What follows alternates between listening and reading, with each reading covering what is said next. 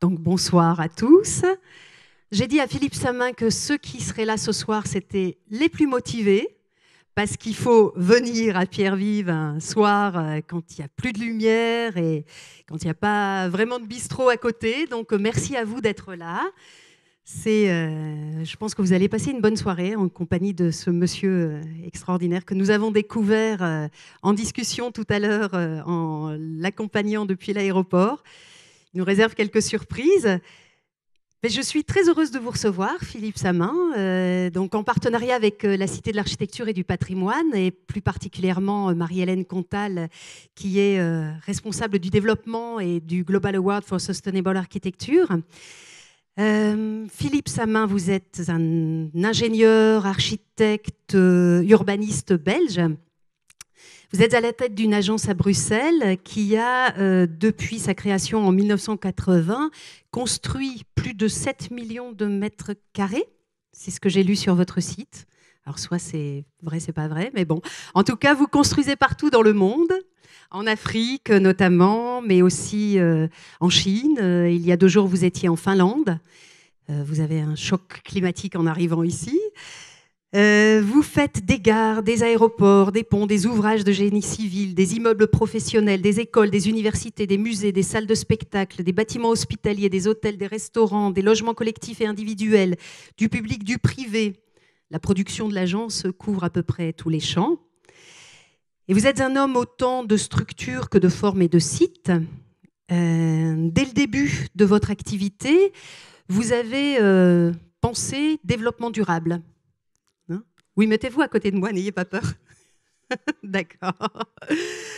Vous avez pensé développement durable à une époque où ça n'était pas encore euh, véritablement quelque chose euh, dont on parlait, euh, en tout cas qui était imposé. vous avez d'ailleurs reçu le Global Award for Sustainable Architecture en, en 2008. Et vous dites, je vous cite, Aujourd'hui tout le monde parle de développement durable, mais il faut d'abord renouer avec l'art de construire. Construire convenablement, réfléchir avant d'empiler des choses, un peu moins dans le look et un peu plus dans le contenu. Tout à l'heure, vous nous parliez même d'éthique. Donc vous pourrez développer euh, ce qu'est pour vous l'éthique en, architecture. Vous préconisez l'allègement des constructions, le réemploi des matériaux déconstruits pour préserver une matière devenue rare et donc précieuse. Et l'exemple le plus symbolique de cet euh, état d'esprit euh, de votre agence, c'est peut-être euh, le nouveau siège du Conseil de l'Union européenne à Bruxelles, Europa, qu'on a vu beaucoup dans les, dans les médias. Europa, avec sa double façade composée de vieux châssis en chaîne collectés dans chaque État membre. Donc on est à la fois dans du symbolique et, et en même temps dans quelque chose de très technique. Vous allez nous le présenter tout à l'heure. Et c'est un bâtiment que vous avez également souhaité joyeux, notamment grâce aux polychromies de l'artiste Georges Meurant, car pour vous, l'architecture, je vous cite encore, n'est pas un match de rugby, c'est plutôt une douce balade dans la forêt en plaisante compagnie. Donc nous allons donc cheminer avec vous ce soir pour une promenade dans votre univers architectural fait de questionnements et de fantaisie de questionnement, comme l'indique le titre de votre conférence. Philippe Samin, c'est à vous. Merci beaucoup, Elodie. On me dit qu'on ne peut pas faire ça. Ceci n'est pas une pipe. Ah, elle est partie. Ah oui, il n'y a plus de pipe. Maintenant, je fume une pipe en écume parce que j'ai arrêté de fumer. Je ne fume plus qu'une seule pipe. J'ai découvert que les pipes en bois, c'était beaucoup moins agréable qu'une pipe en écume. Euh, pourquoi? C'est toute la question. Euh, une heure, c'est rien du tout pour essayer d'échanger avec vous sur cette, euh, ce métier que j'imagine certains d'entre vous partagent avec moi. Euh, il se peut qu'on ait conçu 7 millions, 7 millions de mètres carrés, mais c'est pas ça l'important, c'est ce qu'ils contiennent. Et je fais aussi des, des pissotières et des stations essence, figurez-vous. Euh, c'est tout aussi captivant qu'un opéra ou qu'un bâtiment du conseil. Il n'y a pas de taille, il n'y a pas de lieu pour faire de l'architecture euh, et, pour euh, penser ce que ça peut être. On, sort d'une période, j'espère, on est dans une période absolument captivante. hein, plein d'incertitudes, et tant mieux. Rien n'est plus effrayant que la certitude. On a vu ce que la certitude a donné depuis la fin de la Seconde Guerre mondiale, ce qui, est autour de nous, hein, c'est-à-dire énormément de choses euh, affreusement bâties dans, l'urgence, avec des, gros muscles. Euh, on préfère le max de Bosch, on préfère le max de boxe à, à pas de danse. Et moi, je sais que j'ai de, de faire des pas de danse plutôt que de rouler de la mécanique. Et j'assure que la route est, longue euh, parce que je ne suis pas crédible du coup. Hein, parce qu'on continue à aimer les gros muscles quand on fait des bâtiments. Alors, euh, je vais commencer par la fin. C'est un concours qu'on a rentré et on ne saura qu'au mois de janvier si on l'a gagné ou perdu. Hein. Euh, pourquoi je vous le montre? Parce qu'il il rassemble un peu. Ben, fatalement, ce qui m'intéresse, c'est le futur, c'est pas le passé. Et quand on fait un exposé devant un public, euh, ben, on est bien obligé de se retourner dans son dos, ce qui est jamais. Bon, on le fait avec plaisir, mais c'est l'objectif, c'est de se préoccuper des projets qu'on a en tête. Et, voilà. Et donc celui-ci, euh, c'est une histoire incroyable.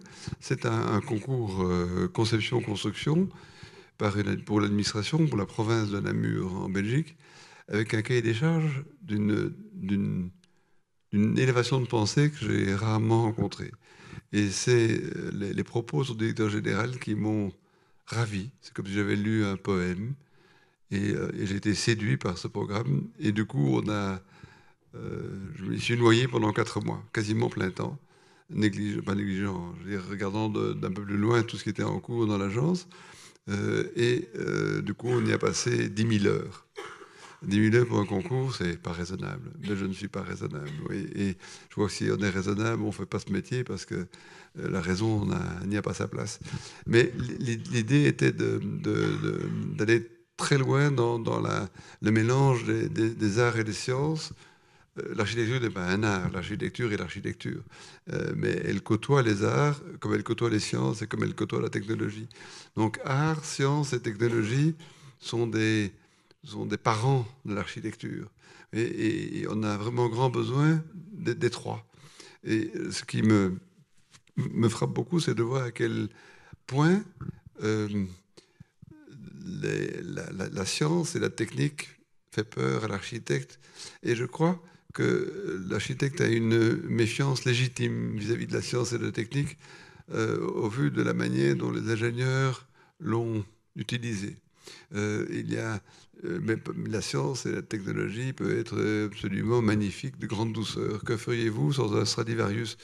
Mais Un Stradivarius, c'est de la technologie en plein. Hein. et avant, avant lui, mais les, instruments de musique n'avaient pas la même sonorité. Mais il en va de même pour nous. Et par exemple, euh, on emploie pour le moment, on est en train de faire des prototypes de, structures ultra légères, et en particulier dans le port d'Avilés en Espagne, une, couverture de 5000 m2 de 80 mètres de diamètre circulaire sur un bas central, transparente à 70%, euh, faite d'une tôle en acier d'un demi-millimètre d'épaisseur revêtue d'un film de TFE. En conclusion, elle pèse 9 kg au mètre carré, hein, contrairement à la, aux verrières en verre et en acier équivalent, hein, qui en pèse 500 euh, à l'aise au mètre carré. Et donc, il y a moyen de faire des... Et, le mât central qui l'apporte sous l'auteur de, 20 mètres est tenu par des petits câbles de 4 mm de diamètre qui, comme une toile d'araignée, va s'accrocher à la, à la structure tendue. Donc c'est le serpent qui se à la queue, tout est en traction sauf le, le mât central. Et donc c'est autour de ça que, par exemple, de genre de, réflexion nous travaillons pour aller structurer. Mais ici, de quoi Il s'agit d'un immeuble de bureau, finalement, des bureaux de l'administration. Et euh, on a décidé de faire entièrement en bois et en acier euh, et en gravier, sans un, un, gramme de béton coulé sur place, et sans le moindre, la moindre conduite aérolique, sans le moindre ventilateur, sans le moindre groupe euh, euh, de, production de froid ni de chaud, et euh, l'énergie épuisée par des puits énergétiques à 150 mètres de profondeur et par une, ombrelle photovoltaïque qui est orientée est-ouest et plus nord-sud et plus plein sud. Parce que quand on met une installation photovoltaïque, on est encore obsédé euh, par son coût d'il y a 15 ans, mais le coût de la cellule euh, est dérisoire maintenant par rapport au prix des onduleurs, au prix de la charpente métallique et au prix du câblage.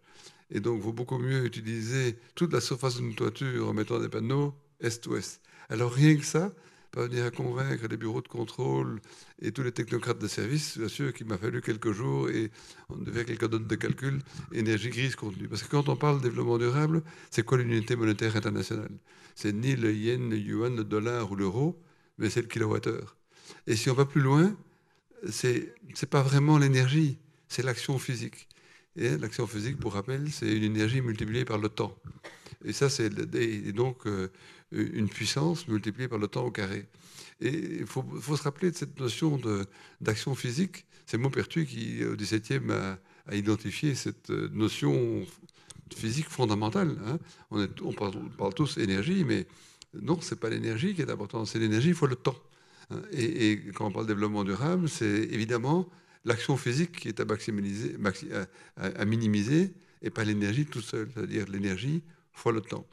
Et, puis, il faut aussi se mettre, quand on parle de développement durable, à calculer l'empreinte énergétique alors de, de, ce qu'on met en œuvre. Hein. Un matériau peut être très, très vertueux tout seul, mais si on inclut l'énergie nécessaire à sa fabrication, à son transport, euh, l'équation peut entièrement s'inverser. Et par exemple ici, euh, donc ce bâtiment est ventilé naturellement avec des cheminées, comme, euh, à Chambord, vous avez plein de cheminées sur le toit pour les mêmes raisons, si vous voulez.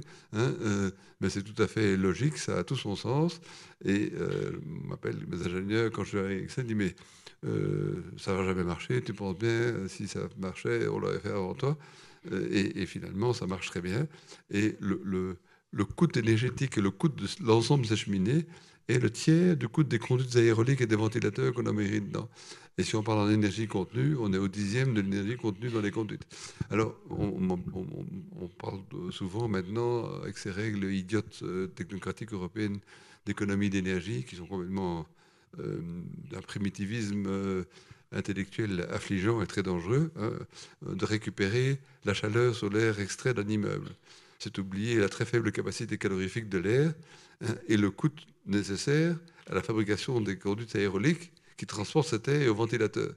Mais on s'est amusé pour ce bâtiment ici, pour convaincre l'administration, de calculer l'énergie grise contenue pour la fabrication des conduites aéroliques et des ventilateurs.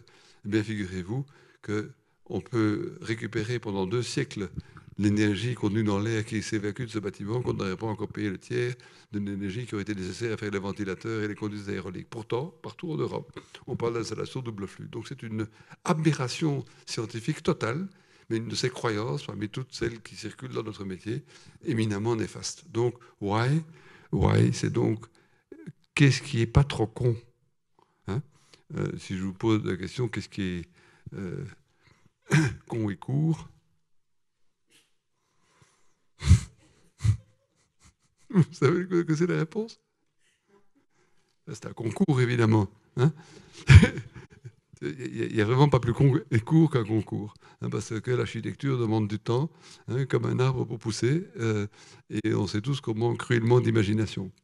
Et donc, voilà, alors, euh, oui, d'habitude, en archi, hein, on présente les, projets comme ça, avec des arbres qui sont là depuis 10 ans et des fleurs qui ont pris le temps de pousser. Ben, malheureusement, quand on livre le bâtiment, les abords sont en adolescence. il faut attendre 10 ans pour qu'il ait l'âge adulte. Et donc, euh, chez nous, quand on présente des projets, on a l'impertinence de les présenter comme on les, donnera à la réception provisoire, ah dans l'autre sens. Hein.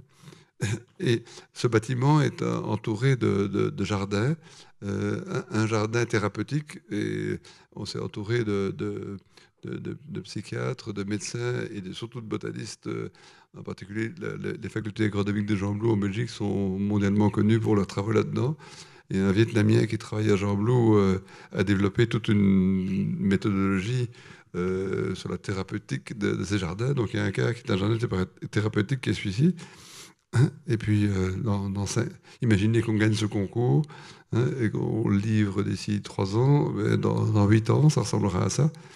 Et d'un autre côté, on a découvert qu'à Namur, il y avait un parfumeur. Hein, qui fait des parfums, ma foi, tout à fait euh, magnifiques. Hein, et euh, ben, apprenant ça, on essaie d'inclure les, acteurs culturels d'une ville ou sociaux. J'ai été le voir et je lui ai proposé de prévoir euh, une roseraie dans notre projet de manière à ce qu'ils puissent faire le parfum de l'administration, hein, de manière à ce que les hauts fonctionnaires puissent offrir à leurs visiteurs leur parfum à eux. Et donc on a cherché la rose avec lui, et j'ai oublié le nom de la rose, et on va donc produire euh, à Namur, hein, euh, le parfum s'appellera la rose de Namur, hein, parce qu'on n'est pas très original en Belgique. Hein. Et ça, c'est euh, quand les roses seront prêtes à être cueillies pour faire le parfum. Alors à l'intérieur, ben donc on a essayé de faire les, structures les plus perméables, donc c'est des planchers en bois. Alors en bois, en de bois, et euh, ben, vous savez que dans le, nord, dans le sud de Belgique, on a des, grandes forêts, des forêts qui ne sont pas des forêts primaires, des, forêts de primates. Il y a la forêt primaire, hein, la bonne, et puis celle des primates, celle que nous, euh, que nous faisons nous, hein, là où on abat les arbres euh, trop jeunes, pour, on ne sait pas très bien quoi faire, pour faire des bâtiments en bois, parce qu'il paraît que c'est écologique. Ça rien d'écologique, évidemment. Euh, rien de tel que de faire un bâtiment en terre. Si vous voulez faire un bâtiment écologique, ramassez la terre par terre et contentez-vous de ça. Hein, et euh, faites tisser par vos enfants la laine de vos brebis et euh, on aura des vrais bâtiments à faible énergie. Et, ça peut être très beau et très confortable. Mais donc, et j'ai fait beaucoup de bâtiments en bois parce que justement, naïvement, hein, j'imaginais que le bois c'était respectueux, moral et sain. C'est pas plus moral que l'acier inoxydable, hein, euh, ou le verre, ou le plastique. Mais enfin, il est de bon ton de le croire et de répandre ses croyances. Comme toutes les croyances, euh, ça fait du bien, hein, euh, mais sans plus. Et donc, on a essayé de savoir de, mobiliser l'industrie du, bois. Je me dis, on va faire des ordis en bois de troisième choix. Le bois de rebut, pas du bois de charpente, puisque on peut, quand on fait des ordis, faire ce qu'on veut. Eh bien, figurez-vous que les forestiers n'étaient pas intéressés parce que Total, Hein, notre pétrolier euh, européen, rachète le bois de troisième choix un peu en dessous du prix de, de fuel pour en faire des pellets et se donner une image verte. Donc, on transforme du bois de charpente en pellets à brûler dans un foyer pour se donner une image verte. Quoi. et, tout est à l'avenant dans, ce capharnaüm de la pensée. Hein. et du coup, bah, on va employer du meilleur bois, puisque le bon, bois normal est employé euh, par, Total pour faire du carburant. Hein. Euh, tant qu'à faire. Et, tout ce projet, euh, de manière la plus impertinente possible, essaye de remettre le pot droit et d'expliquer aux administrations qui veulent un bâtiment. Vous connaissez cette classification qui infeste tout, britannique, Breham. Euh, il y a le Braham du cerf et le Breham des Britanniques. Hein, c'est une manière de classer les bâtiments vertueux. Et par le Building Research Establishment à Watford en Angleterre, et euh, je leur mène une guerre impertinente euh, sur chacun de leurs critères en, essayant de les ridiculiser les uns après les autres, mais pourtant quand même de les respecter. Ce qui fait qu'on a un bâtiment ici plus qu'exemplaire. On a, depuis que ce système existe, il n'y a jamais un bâtiment qui, accumule autant de points. C'est une, vaste blague, une vaste comédie, évidemment. Hein. Et donc, on, s'est pris au jeu, si vous voulez, en se moquant du système et de nous-mêmes en même temps. Mais parmi les choses très sérieuses, à l'intérieur, le, directeur général de l'administration voulait euh, permettre aux, membres de sa collectivité de choisir, c'est assez amusant, ben, ça va très bien commencer par, il dit, écoutez, au moins pour, il trois, cinq types de chaises différentes, cinq types de tables différentes, cinq types d'armoires différentes, cinq types de revêtements de sol, cinq types de revêtements de mur, cinq types de revêtements de plafond, et ils peuvent choisir et les mettre n'importe où. Euh, je ne sais pas si mes confrères ici j'imagine, ça veut dire, dans un marché conception-construction, euh, ça, coquinait avec cinq marchands de, euh, comme on dit chez nous, euh, ça n'a pas beaucoup de sens. Et puis, il y a le mot, le mot problème, pour moi, synonyme d'inspiration, évidemment, ça n'existe pas le mot problème, sauf en mathématiques, et là, ça devient un jeu. et on, on réfléchit aussi, mes collaborateurs, dans les, les matériaux recyclés, on, dit que dans chaque ville, il y a une, euh, un vide-grenier. Hein, euh, le gars qui fait les poubelles après les morts. Hein. et on était voir le vide-grenier de Namur, et on a, fait un contrat. On dit, voilà, on va offrir à chaque fonctionnaire la possibilité de venir chez vous, choisir des vieux meubles, des, vieux tapis, des, vieux, tout ce vous voulez, des neufs tout ce que vous voulez, tout ce que vous avez ramassé hein, en vidant les maisons. Et, puis, euh, ce seront des chômeurs et des handicapés qui les retaperont. Donc, c'est en même temps donner du boulot aux chômeurs, aux handicapés, permettre aux fonctionnaires d'avoir des meubles euh, qui coûtent rien, hein, de payer cet ASBL qui a vraiment besoin de subsides, mais comme les, sous réservés par l'administration pour payer le mobilier sont là, ben, ils seront payés au prix du mobilier neuf euh, de chez Ikea. Hein, euh, et peut-être qu'il y aurait une certaine poésie qui se dégagera. Et les gens peuvent aussi venir avec euh, la chaise du grand-père ou de la grand-mère, s'ils veulent, euh, ou de la petite amie, peu importe. Et donc c'est un mélange. c'est des images d'ordinateur avec la naïveté que ça a, hein, où on montrait tout ce qu'on pouvait faire comme genre de d'assemblage, y compris, y, compris des vieilles rosaces euh, de plâtre euh, euh, collées au plafond, parce que ces plafonds devaient avoir évidemment des caractéristiques résistantes au feu et acoustiques. Hein. voilà. Alors, on travaille ces images de synthèse, si vous voulez, bien.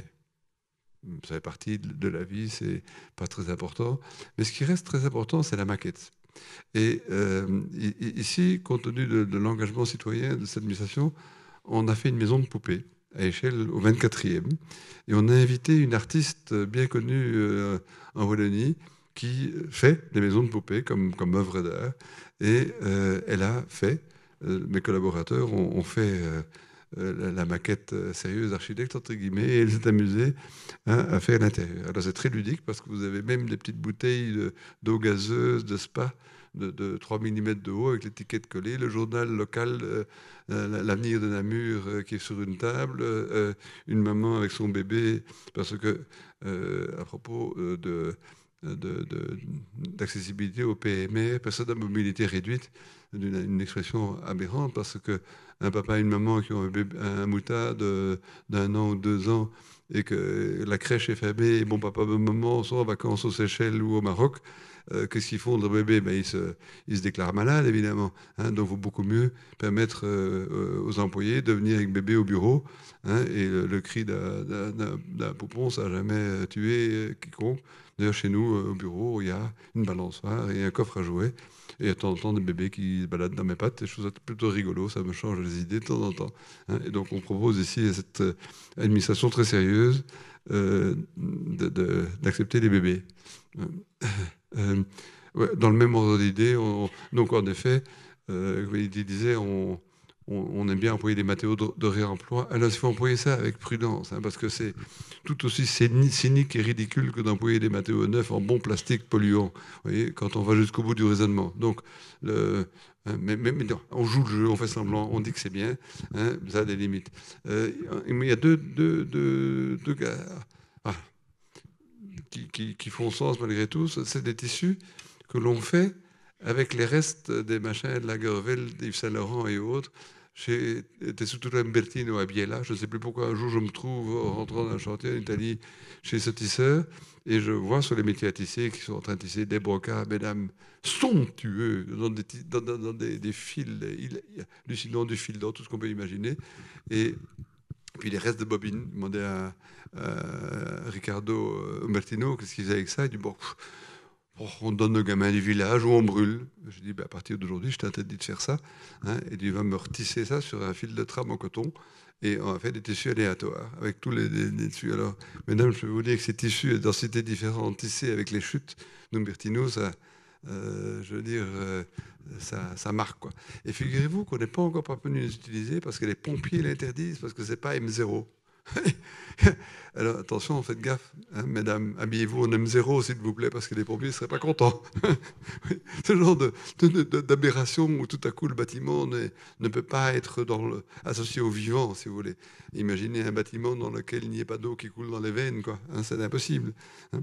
Et puis, ça, a fait son petit bruit en Italie. Et le maire de Solofra, qui est une banlieue mafieuse de Naples, qui a pas mal de petits euh, dealers de drogue, euh, mais aussi les meilleures tanneries européennes, euh, m'a demandé d'aller animer cette, bande de, petits délinquants très sympathiques et complètement pétés.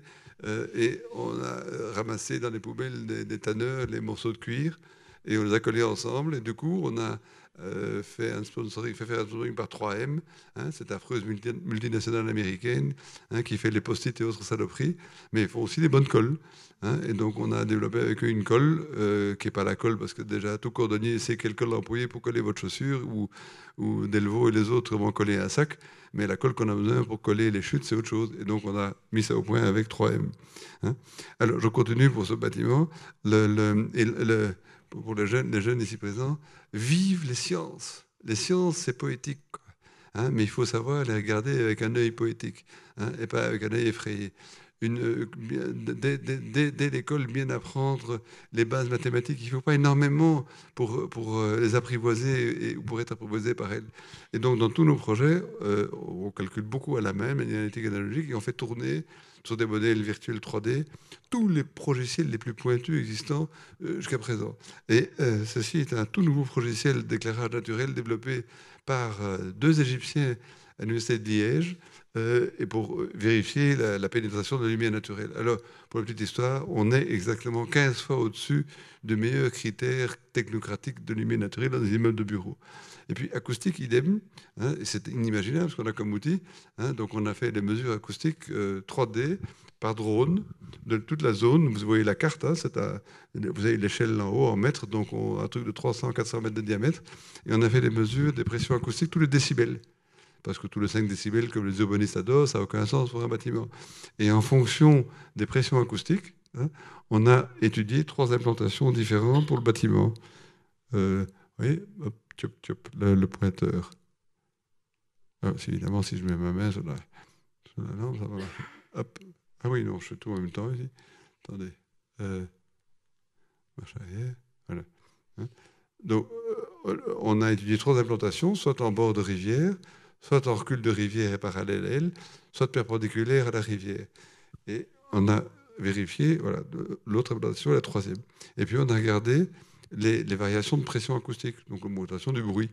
Et dans cette version-ci, vous voyez le rouge, ça veut dire qu'il y a plus de bruit, et le vert et le bleu qui a moins de bruit. Mais donc, euh, comme je fais un bâtiment en ventilation naturelle, on ne doit pas ouvrir la fenêtre. Si on peut ouvrir la fenêtre, il faut évidemment que l'air soit comme, il faut et qu'il n'y ait pas trop de bruit. Hein. et donc, l'autre solution, que le bâtiment recule, il y a toujours une augmentation de la pression acoustique, donc, du bruit du côté de la rivière. Pourquoi? Parce que oublié de vous dire qu'il y a euh, voie de chemin de fer à haut débit qui passe de l'autre côté de la rivière. Hein. et finalement, quand on met l'implantation, comme on a décidé de l'implanter, la pression acoustique est très très limitée et on a vérifié qu'on pouvait donc ouvrir par toutes les fenêtres. Mais vous voyez, sans, sans avoir fait usage, et ça je peux vous dire, c'est des très très gros logiciels, très pointus, on aurait sûrement eu un fonctionnaire qui aurait, fait, qui, aurait pu faire la remarque, oui, mais c'est très bien, mais c'est très romantique, monsieur l'architecte, nous on veut des fenêtres fixes qui se ferment pour l'acoustique, machin. Et puis le, suivant va nous parler de la qualité de ça, ça je passe, parce que, ah oui, ça c'était, ils ont mis, euh, euh, ouais, oh, Attendez, hein, je vais retourner à ça. Oui. Euh, l'autre chose, si on fait de la ventilation naturelle, c'est très bien de prendre de l'air extérieur, mais est-ce que cette air est pur? Est-ce que cette air n'est pas empoisonné? Hein Alors, euh, in temporinum suspecto, il y a 15 jours, les, agents de sécurité du bâtiment Europa ont évacué tous les chefs d'État quasi mani militari parce qu'il y a deux syndiqués qui sont tombés ou qui ont fait semblant de tomber dans les pommes dans les cuisines. Hein. Euh, on a reçu 15 euh, lettres d'avocats, 15 huissiers, 50 euh, personnes autour de la table. Est-ce qu'il n'y a pas un terroriste, machin hein, Tout ça parce qu'il y a un peu de fumée qui est sortie d'un avaloir de cuisine. Hein. Je vous assure, ils ont vidé le bâtiment pendant 15 jours. Donc la, paranoïa du terroriste, ça, ça a plus de limite. Et donc ici, on s'est dit, si on ouvre la fenêtre, on trouve bien un fonctionnaire qui expliquera que l'air là-bas n'est pas pur. Et donc, on a été voir le CERTEC, qui est un centre euh, de recherche euh, européen très connu en matière de olfactive, et on a fait des mesures à trois climats, températures différentes de la qualité de l'air sur le lieu pour montrer que l'air était bon. Et finalement, on a été chez les, euh, les, mécaniciens des, fluides utilisés par Airbus en particulier pour étudier les, les vents et, par différents climats autour du bâtiment de mer, à montrer, je ne vais pas aller dans le détail, montrer qu'on sait que le tirage naturel marchera.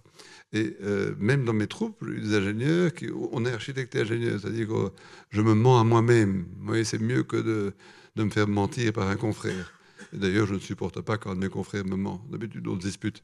Hein. moi, avec moi, ça, ça va, quoi. Ça, ça, ça, ne vous regarde pas. Euh, euh, mais donc, on, a quand même, euh, avec mes gars, de temps en temps, des disputes. Et quand j'ai insisté pour qu'on vérifie, mais petit calcul, calcul de tirage naturel, ce qui est au niveau équation assez élémentaire après tout, hein, il y a eu de la résistance. Et pour les calmer, on a dit qu'on allait mettre, je dis, mais on mettrait une résistance électrique au sommet de la cheminée pour, augmenter le tirage, ou même si vous voulez un expeller, hein, et on fera semblant qu'on fait de la ventilation naturelle. Eh bien, grâce à ces études de CNRO, on a pu démontrer que par tout temps, on parvenait à créer ce tirage naturel de manière tout à fait adéquate, sans devoir tricher en quoi que ce soit. Alors ça, c'est assez élémentaire. J'aurais dû vous montrer. On, vient de, on a démarré un projet au cercle polaire à Rovaniemi, en, Finlande, à de Lapon. Je vous assure que la trajectoire du Soleil, c'est autrement plus émouvant que chez nous, parce que là, hein, euh, en été, il est là tout le temps, et en hiver, il est là jamais. Hein. Sauf que quand il est là jamais, ce qui est dans un mois, c'est le cas, malgré tout, à midi, il y a une extraordinaire lumière avec les aurores boréales qui arrivent. Et faire un projet dans l'atmosphère des aurores boréales, euh, c'est pas c'est pas insignifiant, si vous c'est une poésie. Et on, on, fait dans tous les projets ce genre de graphique, oui, on calcule réellement la trajectoire du Soleil. C'est très élémentaire, on, fait ça au lycée, hein, mais beaucoup d'architectes oublient de le faire en faisant un bâtiment. Donc a beaucoup de choses qu'on apprend au lycée qui restent malgré tout très très utiles des décennies après. Et puis un peu plus pointu, et ça, euh, l'info manque et on a demandé à ISPRA, Centre de recherche européen, de, de foncer là-dessus. C'est un, un chercheur à l'Institut euh, météorologique belge qui a fait ça. Je suis en train de dépasser tous les temps. Hein. Je parlerai d'un projet, et puis tout le reste, allez voir, c'est mon site web. Hein. Mais on, va, tourner autour, si vous voulez, c'est à peu près à chaque fois la même histoire. Hein. Euh, ça, c'est le nombre de luxe euh, au sol, au milieu pour l'éclairage génital, Hein, ce qu'Alvarado euh, traite à Ravaniemi de manière magnifique, malgré la position de ce soleil qui se balade hein, comme une toupie euh, au sud, hein, euh, à, l'est, l'ouest, nord et au sud. et c'est évidemment essentiel quand on regarde la position des fenêtres. Ça, c'est à 45 degrés. et ça, c'est tout récent. C'est une découverte d'un jeune doctorant égyptien euh, de Liège, Zouma Direction, où on s'est posé la question de la température de lumière de la voûte céleste. C'est idiot comme question. Hein eh bien, à Bruxelles, hein, on a fait ce graphique. Et ce graphique, c'est quoi? C'est 365 jours de l'année, regardez en haut là, 1er janvier et 31 décembre, et les 24 heures du jour. Hein et le rouge, c'est 1000 degrés Kelvin, le bleu, c'est 10 000 degrés Kelvin. Hein, et les, bandes euh, euh, vertes, euh, c'est la Belgique, c'est les nuages, c'est nos nuages. Hein. mais ça veut dire quoi? Ça veut dire que le 21 juin, quand il n'y a pas de nuages, hein, le, ciel nous débite 10 000 degrés Kelvin. Et le 31 décembre, quand il n'y a pas de nuages, on est à 5 000 degrés Kelvin. Ça veut dire en clair que quand vous regardez un tableau, que ce soit Bruegel, Magritte, Picasso ou n'importe quoi, ben, la, la, couleur de ce tableau n'est évidemment pas la même Hein, le 31 décembre ou le, 21 juin. Hein, et que donc, le, parler de couleur en architecture, il faut dire couleur à quelle saison. Et si vous ajoutez à ça le, cycle de 12 ans du soleil, hein, et tiens, tiens, le cycle de 12 ans, ah, mais ça peut penser à quelque chose. Quand les anciens avaient pris connaissance, les anciens avaient des millénaires que les, savants euh, assyriens et avant et chinois avait remarqué qu'il y avait un cycle de 12 ans pour le Soleil. Quelle architecture tient compte du cycle de 12 ans? Eh bien, pensez-y, vous verrez que c'est loin d'être innocent. Et donc, tenir compte de ça, c'est important. Et maintenant, avec l'ESA, l'Agence spatiale européenne, on va faire une planisphère et faire ce graphique pour tous les 10 degrés d'altitude, équateur, 10 degrés, 20 degrés, etc., jusqu'au cercle polaire. Hein. Et sur chaque, à 10 degrés d'altitude, euh, ou l'équateur, vous avez un océan, un désert, aride, une forêt vierge et un climat tempéré. Hein. et donc ça fait que vous aurez 30 diagrammes comme ça, où on verra la sensibilité de la couleur du ciel suivant le jour de l'année, hein, suivant l'endroit où vous êtes sur la planète. Et en attendant, ben, quand je fais un projet en Chine ou en Finlande, je suis euh, orphelin de cette information et ça m'énerve.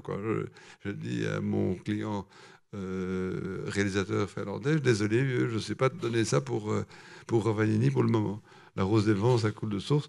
Et ça, j'en ai parlé, c'est le vent. Et ça, le plus important, et ça, on peut le télécharger du site de ISPRA, euh, du site de recherche européen, c'est l'énergie en kilowattheure mètre carré par an, suivant la position du soleil. Alors ça, c'est à, Bruxelles. Hein. Eh bien, chez nous, à Bruxelles, quand vous avez 1100 kWh mètre carré par an en 30 degrés sur la verticale euh, plein sud, vous avez encore 30% de cette énergie, 35% de cette énergie verticale au nord. Ça veut dire que maintenant, et en Montpellier encore année en plus, vous pouvez imaginer, mais imaginez ça, une ville toute noire, toute tartinée de photovoltaïque, toiture et toutes les façades. Hein. c'est du beau bis, quoi, hein, si je puis dire. Hein. c'est le surréalisme. Mais euh, comme on est le, surréalisme, s'il vous plaît, laissez-nous ça à nous, Belges, n'a pas grand-chose, mais c'est nous les surréalistes, et pas vous. Je fais le bâtiment des sciences, ma faculté de Polytechnique à Bruxelles, je l'ai décidé, et euh, le président et le recteur me passeront sur le corps. Non, non, mais ils sont d'accord. On va faire le bâtiment tout noir, toutes les façades, toitures, c'est un, bâtiment entièrement du photovoltaïque, et puis que ça ponctué par des châssis en chaîne claire et du vitrage cristallin. Ça va être gai, ça. Hein. Euh, ah, euh, alors, euh, j'ai encore combien de secondes, une minute? Bien. Alors, pour être clair, je peux vous tenir la jambe pendant 20 heures d'affilée. Hein. Ce n'est pas l'objectif. Mais on a un site web. Euh, vous savez, Philippe, partners.be, c'est la patience. Et c'est un site fait principalement pour les étudiants et les chercheurs. Euh, c'est de l'information factuelle par projet, euh, plan, coupe, façade, implantation, notes descriptives, photographie, le site, le machin, tout ce qu'on peut donner. Et, puis aussi, depuis quelques années maintenant, on a pris le pli de faire des livres euh, factuels, scientifiques et techniques, qui expliquent le pourquoi, le comment des bâtiments. Hein. et j'ai reçu l'autorisation des éditeurs de, permettre à chacun de télécharger parce qu'ils se sont rendus compte que le coût d'impression sur une photocopieuse couleur coûtait le prix du bouquin. Donc ça ne dérangeait pas. Si vous préférez imprimer sur votre photocopieuse un bouquin que de l'acheter chez l'éditeur, c'est chou vert et vert chou. C'est cet argument-là qui m'a permis de les mettre gratuitement à disposition parce que vous n'êtes évidemment pas obligé de l'imprimer. Il faut aussi le lire sur l'écran comme le font beaucoup de gens. Mais donc, euh, ce qui me permet de, vous dire tout et n'importe quoi, parce que chose sérieuse, c'est sur notre site web. Hein. Logique. Euh, ça, c'est une caserne de pompiers qu'on vient de, livrer à, Charleroi. Euh, et, euh, parce que ce qui est magnifique ici, c'est que ce centre a plusieurs pôles, l'archi, mais aussi l'interaction entre art et, science, qui est mon domaine de, prédilection, et, les questions sociales. J'ai fait plusieurs casernes de pompiers. Ces soldats du feu sont des héros. A et quand j'en parle, je, suis ému, je prie de m'en excuser, parce que j'ai fait la caserne d'Enschede. Vous savez, aux Pays-Bas, là où il y a 8 ou 9 pompiers qui sont morts au feu quand euh, cet entrepôt de, feux d'artifice a explosé. Et euh, j'ai été dormir avec eux, euh, avec les survivants. Je veux dire que, waouh, ça, laisse des souvenirs inoubliables. Et, puis, quand on a fait celle-ci, c'est une très grande caserne parce qu'il y a 48 portes. Donc imaginez 48 camions de pompiers prêts à sortir, donc c'est pour ça que j'ai vu en rond. Il y a 600 hommes, hein, donc c'est une vraie grande caserne.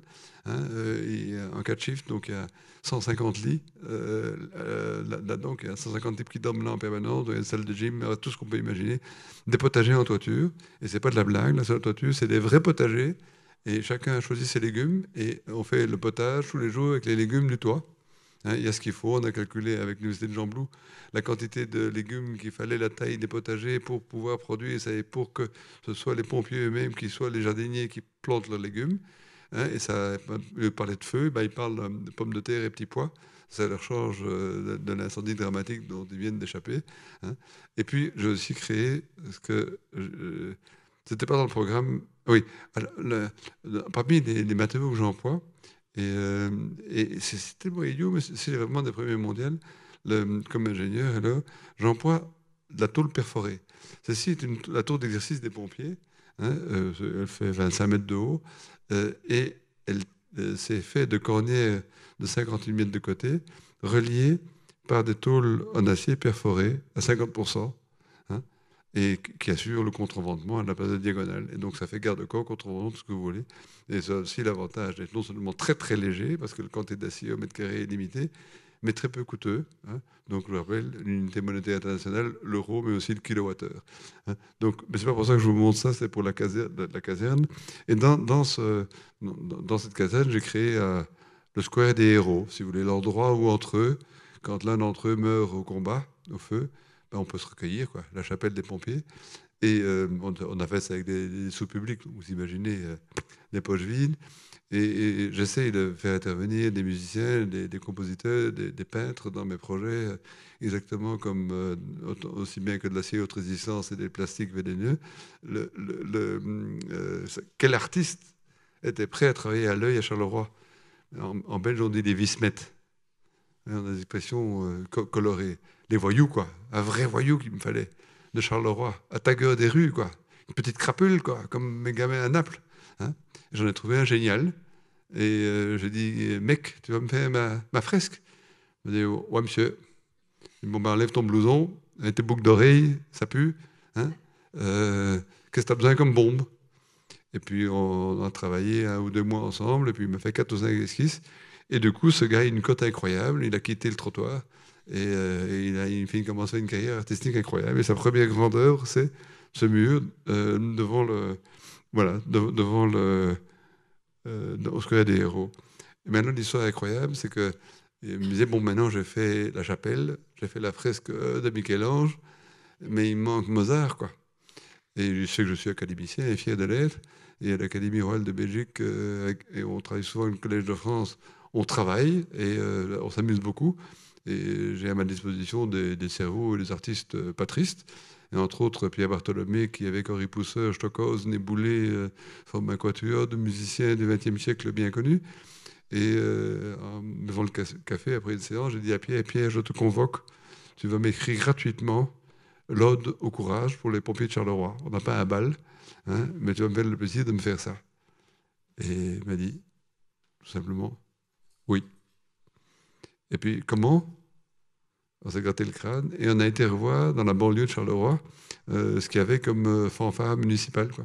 Puis on à Monceau-sur-Sambre, sur l'harmonie de Monceau-sur-Sambre, il y avait des, chômeurs, des, retraités, des machins, de, 7 à 77 ans, qui avaient leur instrument avant. Et Pierre a été les écouter, voir leur niveau de, de, compétences, et a écrit euh, l'Ode au courage pour l'harmonie de Monceau-sur-Sambre. Et euh, j'ai appelé un autre académicien de la classe Technologie Société, qui est un, extraordinaire euh, acousticien euh, et spécialiste en enregistrement. Et on a enregistré. Et si vous venez sur notre site web, vous pouvez écouter L'Ode au courage, fait par, vous verrez, une gamine de, 7 ans avec sa trompette. Et puis l'aîné dans le fond avec son bazar. Hein, et voilà quoi. Et on attend toujours le, le moment où on faire la première dans la caserne. Et je ne sais pas si j'ai demandé à mes pompiers de se mettre en uniforme de combat, vous voyez, avec leur casque, leur, machin comme ça, ou bien dans leur, dans leur belle tenue bleu marine avec leur képi et leur galon et tout, je ne sais pas encore, on verra. Hein. bon, mais le temps presse. Ah oui, tout ça, je vais passer. Ah, mais ça, c'est notre projet pour le Guggenheim Helsinki. Et pourquoi je le montre? Parce que c'était. On n'a pas gagné parce que je vois que le jury n'a rien compris euh, au graphique technique qu'on a donné. Ça, c'est le drame hein, des concours d'architecture. C'est con et court en particulier parce que les membres du jury sont cons et courts aussi hein, très souvent hein, euh, parce qu'ils n'ont plus la moindre connaissance scientifique qui leur permet d'évaluer un projet correctement. Et donc, quand vous voyez des rapports d'examen de jury, Hein, je dirais, c'est dramatique. Hein, je veux dire, c'est surréaliste. Euh, c'est mieux qu'une BD. On pourrait les afficher dans un auditoire pour faire rigoler les étudiants de voir le, niveau intellect des membres des jurys d'architecture. Hein. donc, juste un cas comme ça. Euh, parce que, euh, et on a mis toutes les informations sur notre site internet parce que je pèse mes mots en vous parlant. Et c'est la première fois. Donc, à Helsinki, en hiver, il fait moins 20 on est au bord de la mer, il y a un parc derrière, ça souffle très fort. Et imaginez faire un musée d'art hein, euh, et ne pas savoir y rentrer parce qu'on est balayé par les vents n'a pas de sens. Donc c'était important. Et euh, c'est la première fois où, il, y a, trois ans ça, hein, et on commençait à voir trouver sur Internet les modèles 3D des principales villes au monde. Et donc on a pris le modèle GIS des Zinki avec notre modèle Revit 3D et on a, trouvé les données météo de station météo la plus proche. Ça, c'est gratos sur Internet, hein, euh, qui était à 500 mètres du site. Donc, on avait des données météo très, très pertinentes. Et puis, avec Senaero, j'ai dit le, mécanicien des fluides d'Airbus, qui a un petit budget R&D pour Bibi, comme ça, entre les fagots, euh, on fait un rapport. Leur, bonne œuvre à eux, c'est de faire tourner leur logiciel, détourner le, calcul d'Airbus pour, euh, pour le Filipino ça coûte pas cher pour eux, et moi, ça m'aide beaucoup. Et donc, on a fait une première simulation, première mondiale, en, simulant et la forme du bâtiment. Ah, ah ils n'ont pas voilà, ah ben voilà, sur notre site. Hein, la forme du bâtiment découle vraiment de l'analyse ces microclimats hein, et euh, de manière à, ce qu'elle consomme peu d'énergie aussi. Alors ça, c'est une des facettes. Après, c'est un véritable musée, donc la question de lumière naturelle, c'est importante. Et pour ça, on a mis sur le, on a mis sur le toit des, des héliostats qui suivent le soleil. Hein, de manière, comme le soleil est bas là, ça, marche d'autant mieux.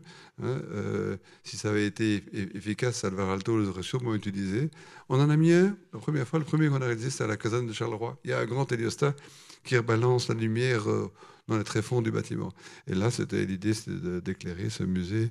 Hein, vous voyez, donc c'était une grande structure en bois avec une usine à art, si vous voulez, des, un, grand, un grand entrepôt où, les, planchers pouvaient être euh, déboulonnés, reboulonnés euh, sur pas 75 cm en fonction des besoins des expos, temporaires ou, permanentes.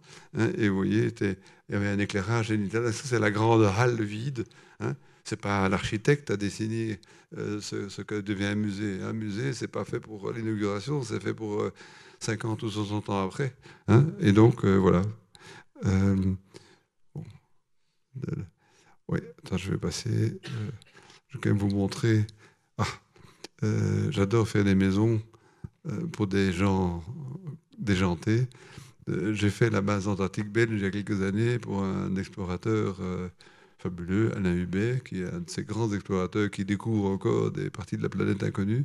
C'est devenu un ami fatalement, et puis je lui ai fait sa petite maison, pas si petite que ça, euh, pas très loin du bureau, entièrement en bois. Et euh, je vous montre ça parce que, d'abord, c'est un scientifique de haut vol, donc euh, il, peut, il peut accepter toutes mes idées folles. Et en particulier, cet escalier, c'est rien. Quand je vous disais que j'adore dessiner les pissotières, les escaliers aussi. Donc cet escalier, c'est fait d'une simple tôle perforée, mais cette tôle perforée fait poutre. Donc cette tôle perforée est découpée comme ça, les marches sont en tôle perforée, il y a simplement un tube ici qui reprend le moment, et l'autre côté, c'est un petit plat de 3 cm qui est fixé au montant en bois de la maison. Et euh, voilà, des photos de là-bas. Oui, c'est aussi, on aime bien travailler avec des ambiances thermiques différentes, hein, de, passer d'une enveloppe à une deuxième, à une troisième, à une quatrième. Exactement comme les anciens faisaient.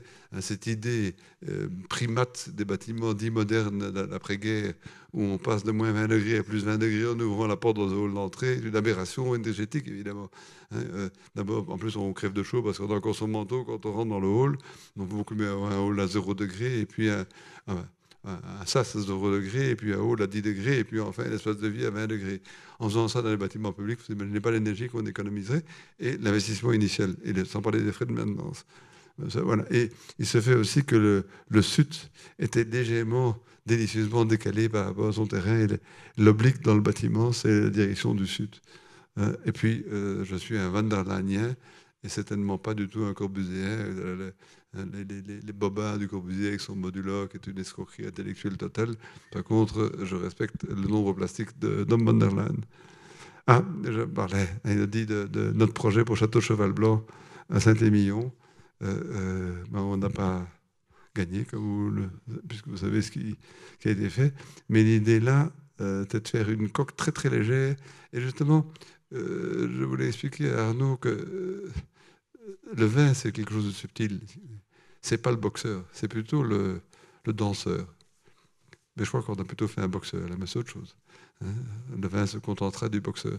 Mais l'idée, c'est de faire des cuves euh, en acier inoxydable, chaque parcelle ayant sa, quantité, et on la prolonge par des, euh, colonnes en, tôle perforée. Euh, et pourquoi? Parce qu'en allant visiter tous ces grands châteaux, et en discutant un peu, je me rendu compte du nombre incroyable d'accidents du travail qu'il y a dans les châteaux. Mais ça, on n'aime pas raconter, évidemment. Des types qui tombent en remplissant les cubes, quoi, hein, et qui sont handicapés à vie. Et il y en a beaucoup plus qu'on imagine. Et donc, j'ai eu l'impertinence d'imaginer un système où euh, le personnel, la n'allait pas tomber en, s'intéressant euh, au, vin en production. Et en même temps, ces colonnes portent la toiture, hein, qui sont équipées euh, d'Oculus. je suis triste de ne pas avoir fait ce projet. Je l'aimais vraiment beaucoup. Et la cave en dessous, si vous voulez, est faite d'une coque en, poterie de 5 cm d'épaisseur. Ça marche très très bien. Et la Diest fait ça en Amérique du Sud depuis bien longtemps, rien de nouveau.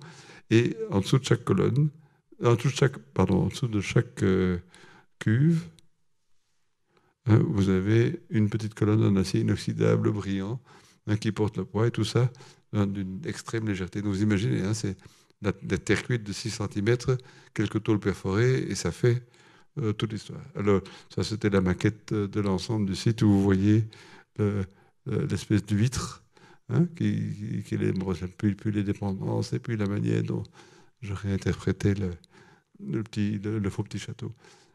Alors, passé. Ça, c'est cinq minutes encore Bon. Alors, je, crois qu'il y a celui-là et puis un autre, et puis le reste, vous verrez sur mon site internet pour ceux que ça amuse. Ça, c'est un. Pardon? Oui, oui, je vais quand même montrer quelques photos de repas. Hein. Vous savez, j'en ai marre de parler de repas.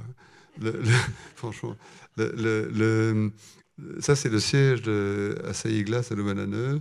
Euh, et euh, vous savez que les verriers font leur chiffre d'affaires non pas avec du bon verre transparent, mais avec ces verres relatés, euh, miroirs à couches fardées, ces verres qui habille ses tours en verre réfléchissant, brutal, agressif, dans les villes chinoises, japonaises, même à la défense, dans ces quartiers d'affaires, ces ghettos pour col blanc insupportables dans lesquels les gens deviennent tous de rasteniques.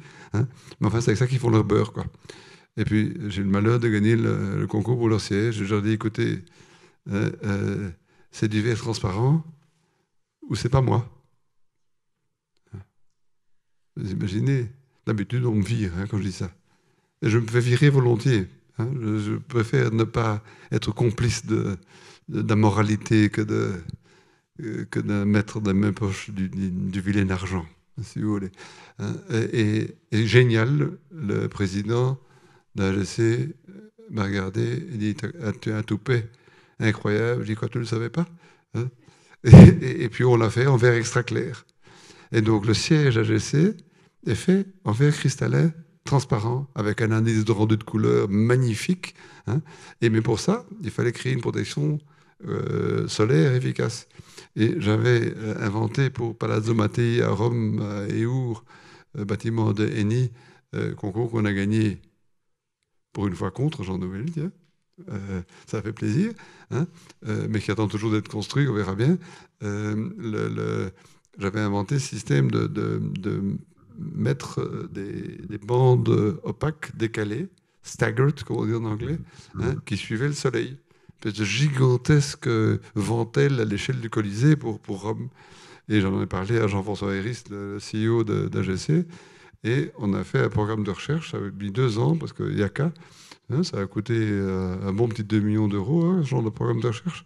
plus de 250 000 euros pour euh, caler les brevets.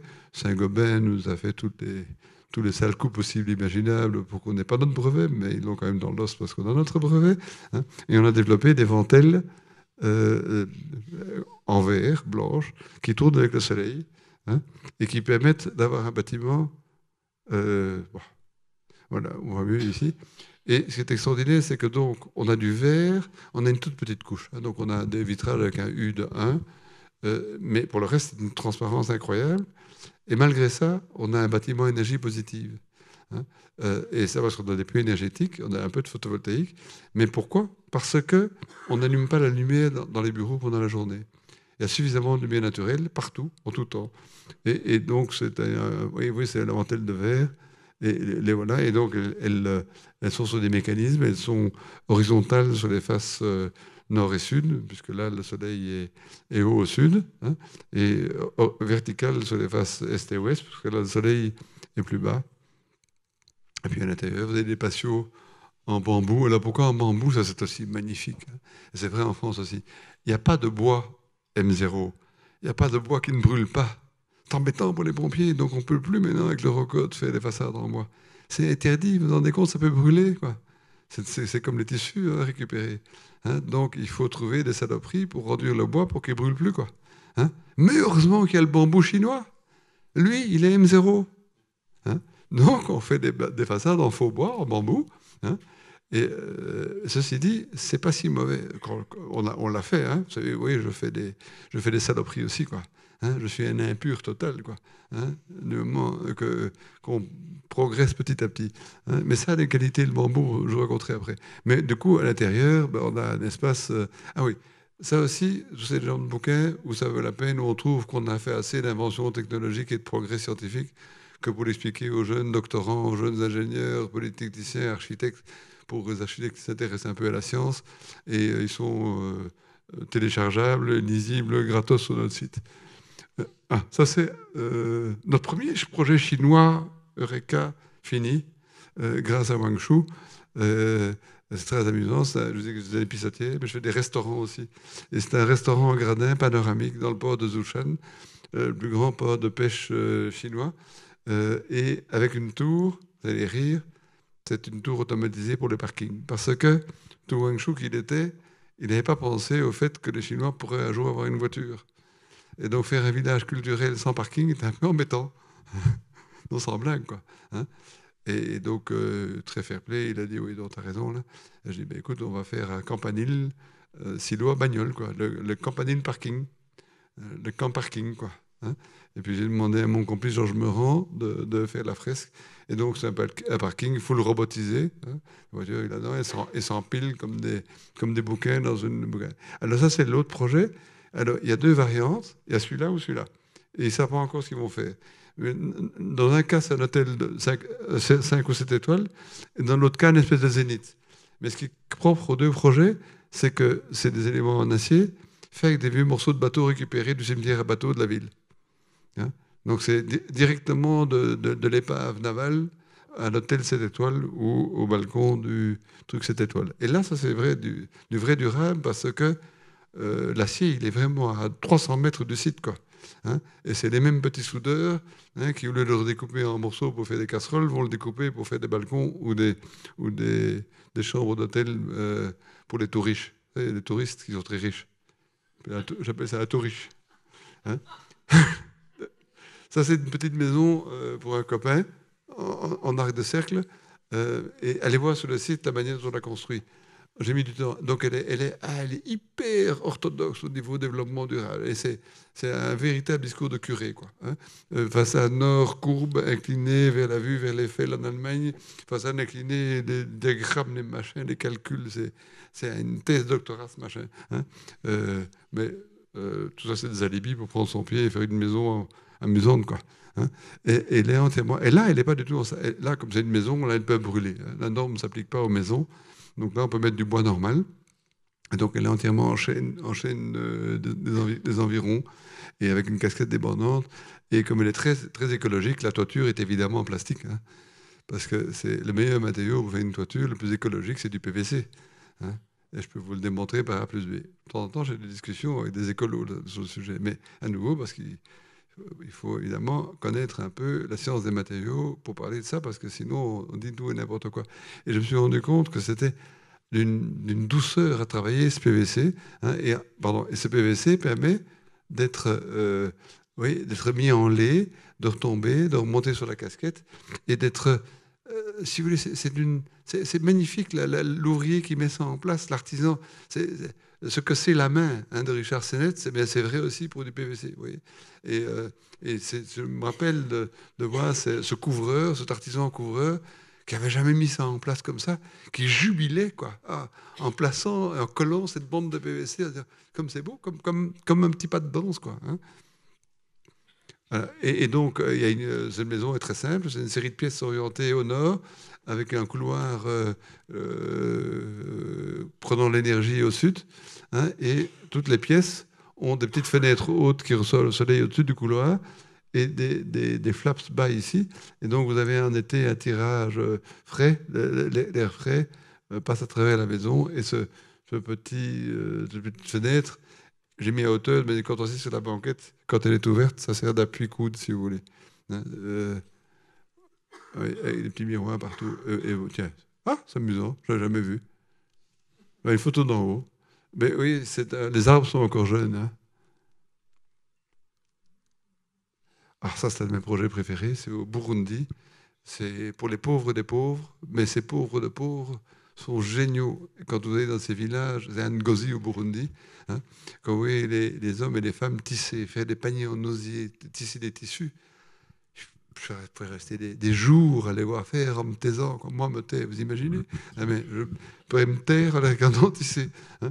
et donc, ça m'a donné l'idée. Et alors, en même temps, je voyais d'autres brutes abattre des, des, des eucalyptus centenaires hein, pour chauffer, pour faire des mauvaises briques. Alors, j'ai des photos dantesques où on voit des centaines de fous à briques d'esclaves en train de faire des mauvaises briques qu'on casse. Hein. Et j'étais invité par le président de la République. Je lui ai dit, mais monsieur le président, vous êtes fou, quoi. Hein, excusez-moi de vous le dire, mais même un président de la République peut être fou. Hein, ça ne marche pas, votre système, là. est en train de foutre notre pays en l'air, quoi. Hein. et donc, l'idée ici est d'arrêter ce saccage et de, pendre des filets. Et c'est un projet de coopération. C'est la ville de Braha, Bruges, en, français. mais le vrai nom, c'est Braha. En flamand, c'est comme ça qu'il faut prononcer. vous dites, euh, nous les Français, vous dites New York, mais les Américains, disent New York c'est la même chose. Hein.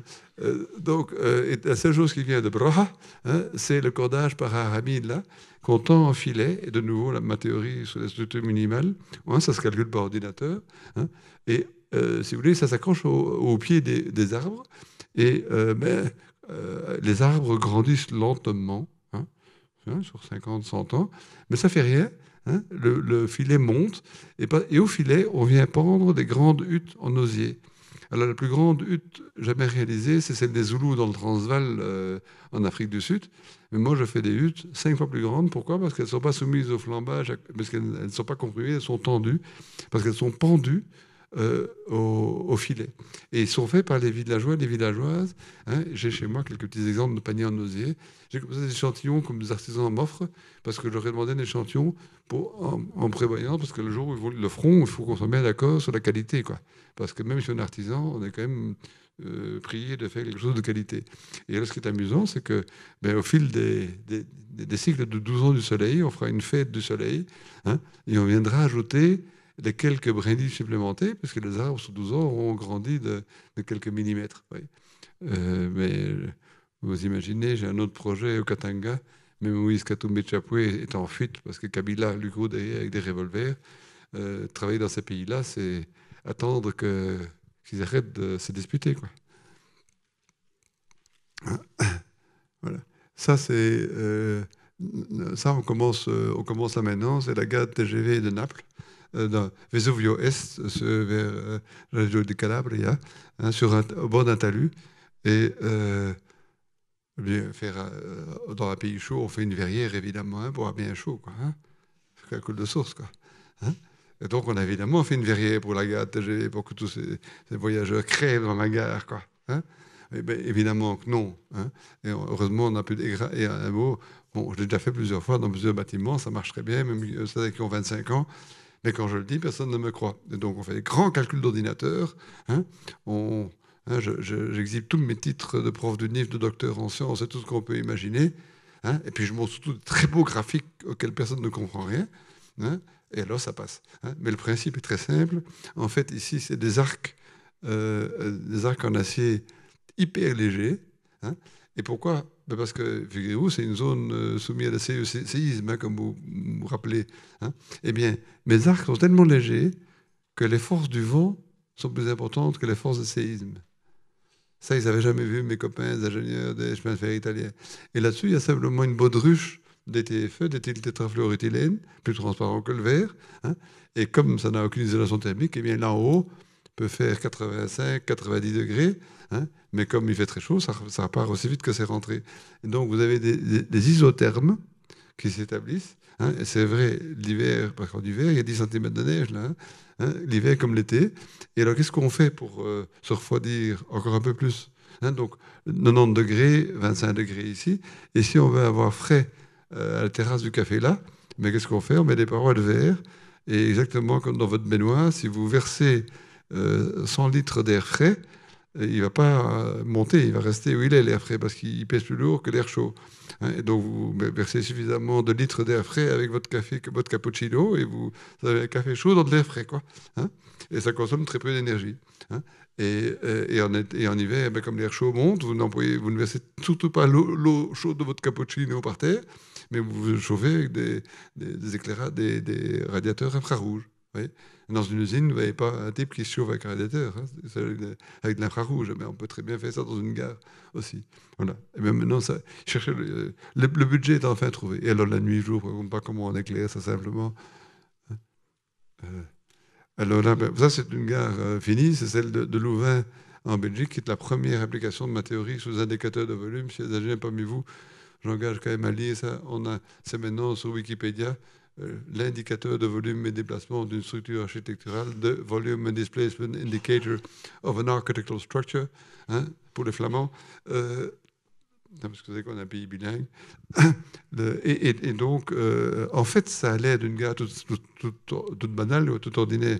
Eh bien, par la, géométrie de ces arcs, on est parvenu à faire une gare. On avait en face de nous du beau linge. Hein. Il y avait qui euh, Il y avait évidemment Calatrava, c'est pour rigoler, euh, mais euh, surtout Foster, Rogers, Grimshaw, Von Gerkan, donc pas des, pas des manchots en ingénierie. Eh bien, Calatrava était dix fois plus lourd que nous. Dix fois plus d'acier. Il faut le faire quand même. Mais tous les autres, étaient deux, avec des bons bureaux d'études que je ne citerai pas, par respect pour eux, hein, étaient deux fois et demi plus lourds. Alors, pour la petite histoire, pendant que nous faisions cette gare-là, Calatrava, c'est celle de Liège. Hein. Vous avez une idée de la différence de prix entre l'une et l'autre C'est le même programme. Hein. On ne peut pas imaginer. 33. Hein. Donc notre gare coûte 3% de celle de Liège pour le même programme. Celle-ci a été payée par les Flamands, l'autre par les Wallons.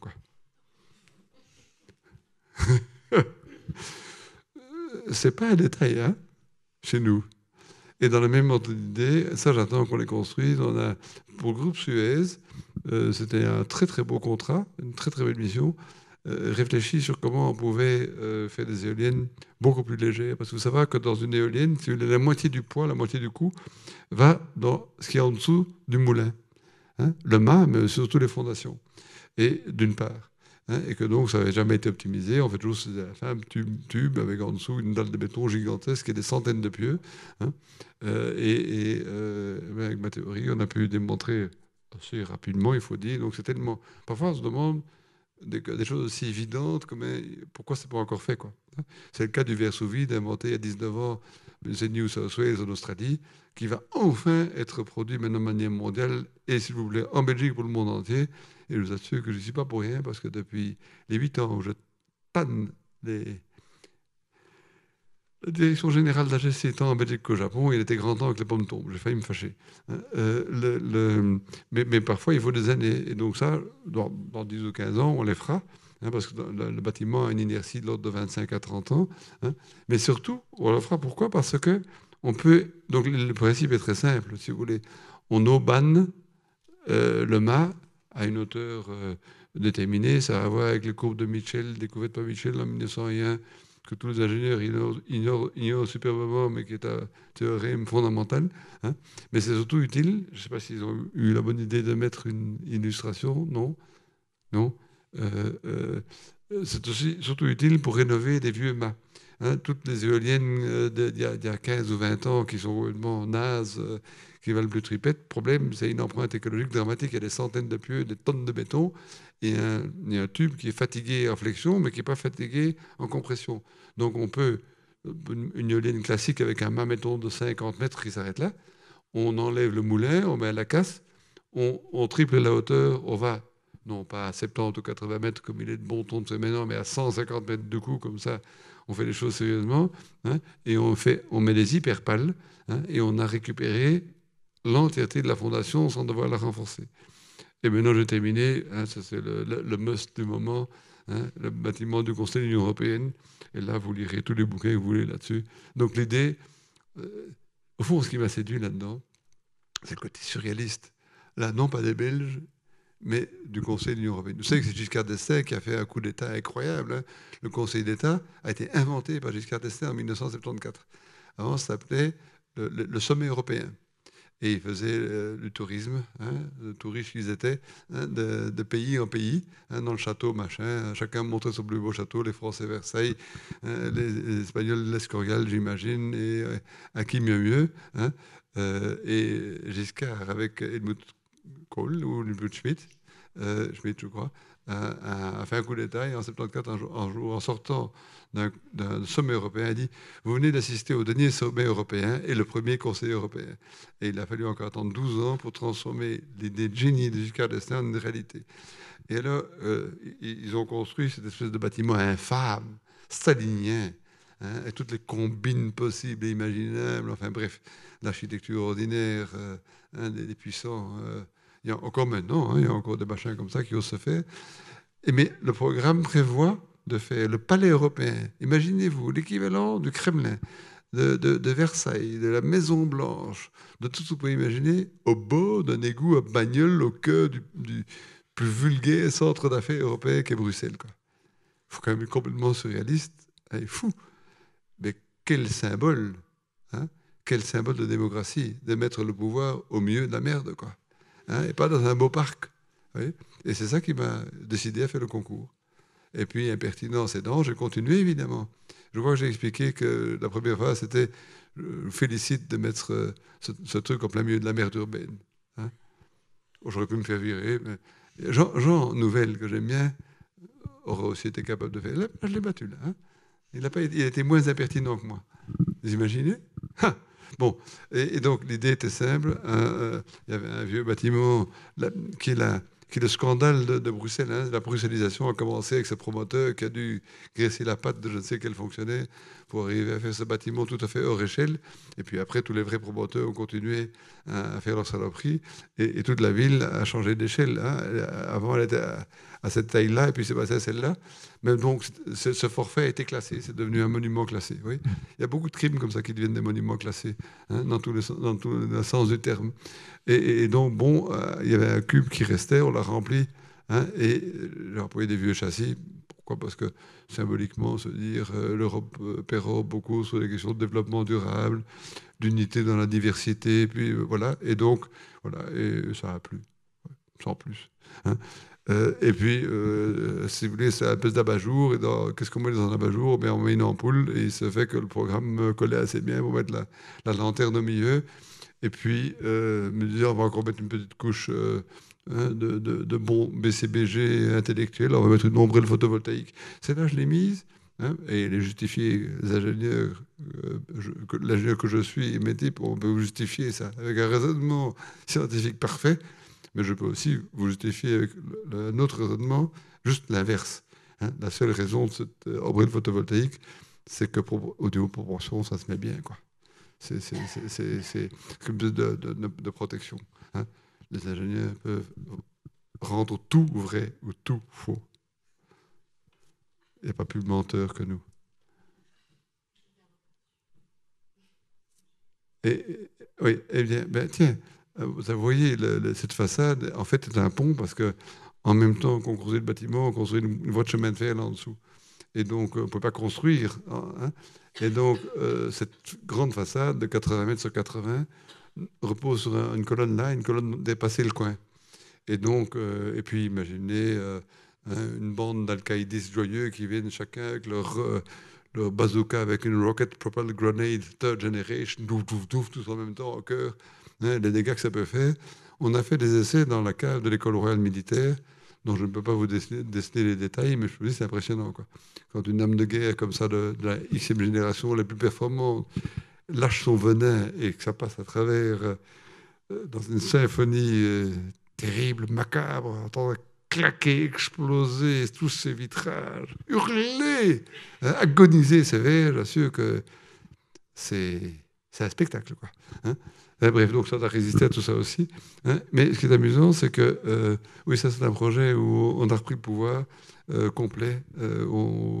Euh, au, début, j'avais laissé l'engineering à d'autres, et puis j'ai tout recommencé pour me contenter de mes propres mensonges. Donc j'ai un petit peu, mais on a, on a tout recalculé. Et en recalculant, justement, parce que je n'étais pas content du tout de l'approche philosophique de mes collègues, parce que l'ingénierie, c'est un art, hein, c'est pas une science, si vous voulez. Et euh, quand je dis menteur, c'est pas ça, c'est que on a des croyances sur les attitudes. Et moi, la légèreté, par exemple, il y a plein de mes confrères qui me disent Oui, mais tes structures sont trop souples. Je dis alors, c'est un défaut de la souplesse? Ah, oui, oui. Hein. et donc, parfois, je perds parce qu'il y a un confrère qui est parvenu à convaincre le client qu'il fallait être plus raide, quoi. Et que ma souplesse pouvait être dangereuse et mauvaise pour la santé, quoi. ben, pour un tour de logement, euh, il y a un, crétin qui a convaincu un de mes clients que des terrasses pouvaient vibrer par vent exceptionnel, mais qui va sur une terrasse par vent exceptionnel Mais que peut-être ça pourrait inquiéter les, acheteurs très riches. Mais pour ça, on a doublé l'épaisseur des tôles pour rien. Donc euh, je ne gagne pas toujours. Hein. Mais si j'ai gagné, parce que le conseil a accepté ça, et en redessinant et en recalculant sur ma théorie cette charpente métallique, on a gagné 30% du poids. Comme pas rien. quelques images. Alors, ah, ben, voilà, voilà le, tracé optimum de la, cette façade. Elle a une profondeur constante de 30 cm. Hein, et ce sont des tôles d'épaisseur et de largeur variable. Alors, c'est, on ne se rend pas compte hein, de l'importance des robots, des gentils robots, hein, des, robots qui obéissent encore. Attendez-vous à avoir des robots qui vont se mettre à désobéir, c'est dans l'ordre des choses. Il ne faut pas rêver, on aura des robots désobéissants qui nous feront des sales, des sales trucs. Mais maintenant, pour le moment, ils sont encore assez gentils, ils ne sont pas encore trop malins, donc pas encore trop méchants. Hein. Euh, mais ils font déjà pas mal de choses. Et entre autres, souder euh, des, trucs comme ça, au prix du kilo standard, où toutes les pièces d'acier sont de sections différentes, fait à partir d'un coil de tôle quelque part sur un rayonnage et un gentil robot qui va charger le coil, qui l'amène à son copain, l'autre robot découpeur qui l'amène gentiment au troisième robot soudeur. Hein, euh, tout ça, c'est du vécu. Hein. c'est comme faire un parking maintenant en imaginant qu'il faut encore de la place pour ouvrir une portière, c'est complètement idiot. Hein. Euh, Mercedes, maintenant, vous offre gratos. Vous me direz, c'est une voiture pour les, pour les tout riches, mais euh, les tout pauvres, ils auront bientôt aussi dans leurs deux chevaux un robot, parce que ça ne coûtera plus rien. Hein. un robot pour garer votre voiture. Donc pourquoi dépenser Imaginez un peu, hein, 2,50 m pour une place de parking, j'imagine en France, c'est comme ça. Ben, si vous avez un robot, une place de 2,10 m, quoi. Hein. donc vous avez gagné 25% de place. Hein. Et puis aussi, bien que les voitures qui dorment 95% du temps et qui roulent que 5% du temps, ça n'a plus de sens. Donc la voiture, ben, on, va devoir, en disposer, on va avoir. C'est idiot de, posséder une voiture avec tous les ennuis que ça pour l'utiliser 5% du temps. Donc imaginez hein, combien de parkings on va récupérer. Donc qu'est-ce qu'on va faire? Tous ces parkings qu'on construit encore maintenant qui ne serviront plus à rien dans 25 ans Il hein? faut y penser tout de suite. quoi. Hein? Déjà penser aux parkings moins larges. Mais c'est ça qui est gai parce que au fond, on construit. Donc qu'est-ce qu'il faut construire? Des huttes en paille et des murs en pisé. Ça, c'est durable. Tout le reste, il y a beaucoup de choses qu'une nouvelle technologie écrase tout. Sauf si vous faites quelque chose de socialement utile. Si ça a une valeur affective et sociale, ça va résister. Et ça ne doit pas être résistant mécaniquement ou malin au niveau de ingénierie. Ça doit être résistant, résilient humainement. Ça doit être doux, doux, gentil, joyeux, pas méchant, arrogant et puissant. On n'en a rien à cirer. Quoi. Hein. Mais quand on voit l'architecture actuelle, il y a intérêt à le rappeler à, l'un de l'autre. Hein. Et je n'ai pas dit que c'était doux, hein, ce machin. Joyeux, oui. Mais euh, quand, il faut résister à des, armes de guerre comme celle à laquelle on a résisté, alors bon, euh, là, rien que ça. Alors, Van der Leyen, je suis un disciple de Hans der Leyen, het plastische getal, le nombre plastique pour les gens qui parlent que français. Hein. Mais le, nom, le titre original de l'ouvrage est Het plastische getal, il nombre plastico. Hein. Ouvrage fondamental, évidemment, qui est la seule théorie valable sur l'ordonnement de l'espace et les nombres. Hein. Et, donc, étant son disciple, j'applique la théorie de ce maître réel. J'ai terminé. Hein. C'est comme ça, vous faites comme ça oui. ça c'est bien. Ben, la, ben, la, suite, vous lirez dans le bouquin. Euh, quelques... Oui, donc on a fait une grille, machin, et puis on a. Chaque... On recevait les dessins, chaque châssis différent, et tous les jours, on mettait en 3D dans le modèle et on calculait, on donnait les, plans d'exécution pour le robot qui découpait les tôles métalliques, et puis on les a mis en, place. Donc c'est très hautement informatisé, hein, ce machin.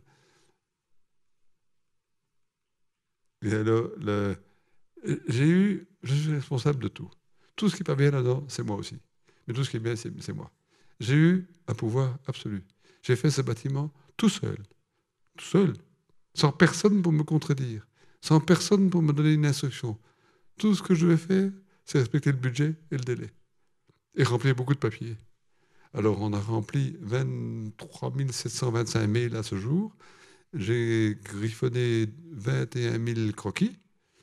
C'est le prix à payer, mais c'est très Puis ça va aux archives du royaume, les gens vont s'amuser à regarder ça. Alors, et un des trucs, évidemment, dès le début, je voulais. La couleur, c'est pas le truc de l'architecte, c'est le truc de l'artiste. Ah il faut toujours avoir un, artiste dans la poche. J'en ai quelques-uns. Et entre autres, mon ami Georges Meurant, qui manipule le, carré coloré avec une profondeur et une poésie incroyable. Et donc, dès le concours, il y avait le patchwork de la façade et puis le patchwork des couleurs. Imaginez, les faux plafonds, c'est en tôle de supermarché, hein, en acier perforé, mais on a mis un feutre d'un millimètre dessus, de laine, hein, fait en Allemagne. Et le, calibrage des couleurs, Georges et moi, n'a pas été tendre. Et le sol, c'est des tapis en laine mérinos de Nouvelle-Zélande, tissés à 250 000 nœuds au mètre carré, 500 000 brins. Hein. C'est des tissus sur lesquels vous pouvez faire pipi, il n'y a aucun problème. Ils seront là encore 50 ans après, dans leur couleur d'origine. Alors, vous vous rappelez l'escalier de mon copain Alain Hubert Eh bien, euh, ici, on a poussé plus loin. En fait, dans l'eurocode, je vous en parlais tout à l'heure, il a dit, le, dans, oui, aussi, il faut se jouer de ces normes, de ces lois.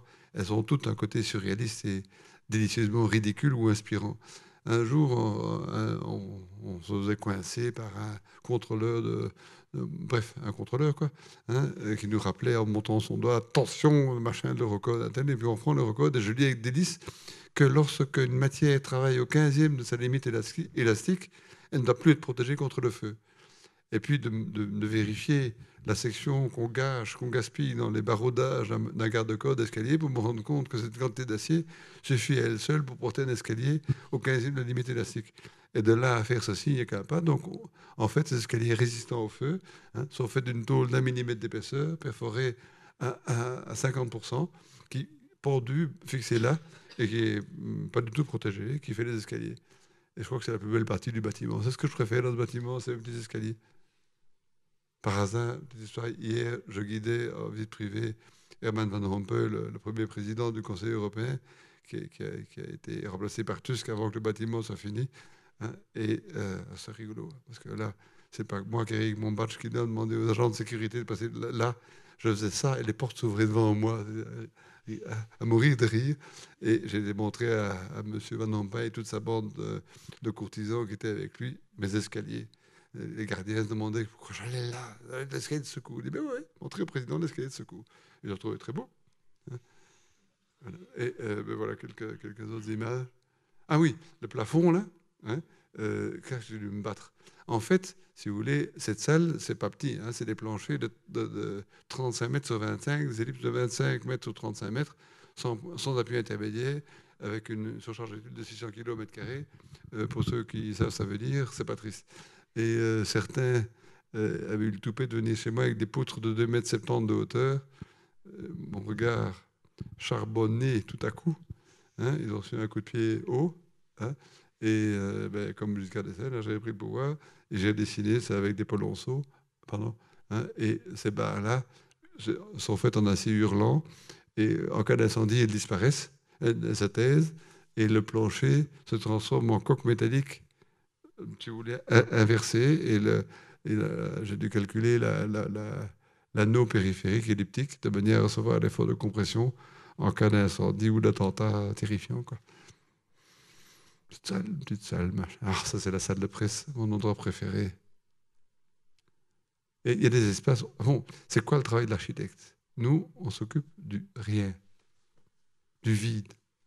La seule chose qui est l'univers l'espace de pouvoir de l'architecte, c'est l'air, c'est l'absence de choses.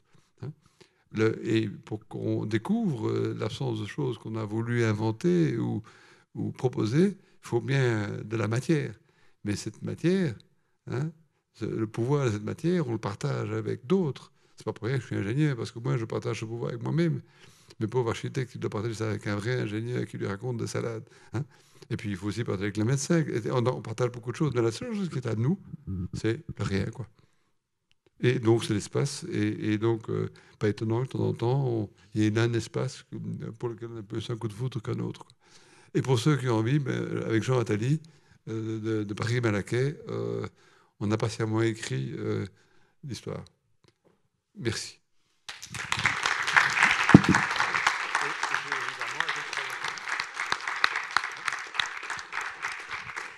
Merci Philippe.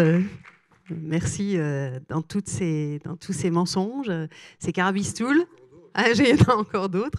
On essaiera de démêler un peu. Euh, est-ce que vous avez des questions? C'est la première conférence de ce genre hein, qu'on a. Et c'est ma dernière ici à Pierre-Vive, donc je suis vraiment ravie. non, non, non, non.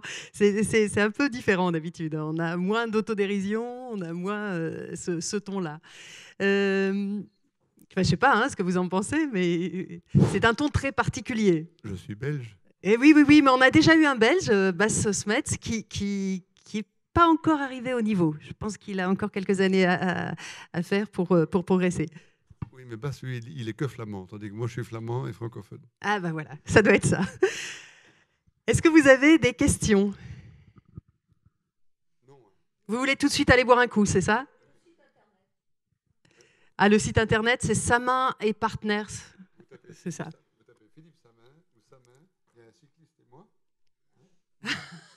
Au choix. On va où non, ça m'a associé, ça une partenaire. Vous tombez assez rapidement sur mes salades. Et elles sont structurées. On, on fait, non, non, très sérieux, on fait des choses sérieuses. Et euh, par exemple, pour les étudiants et les doctorants, parce que c'est aussi pour qu'on n'y passe pas trop de temps au bureau, on est en train de scaler, scanner mes 1622 publications à ce jour. Elles sont toutes disponibles, téléchargeables dans 15 jours sur notre site web. Mais comme ça, gens ne doivent plus m'écrire pour me demander le, machin numéro autant. C'est à, télécharger. Et j'assure qu'au niveau informatique, parvenir à faire que ça marche sans passer des heures devant l'écran, j'ai des très bons informaticiens dans mon équipe aussi. Donc le site web, c'est fait. Oui, Philippe?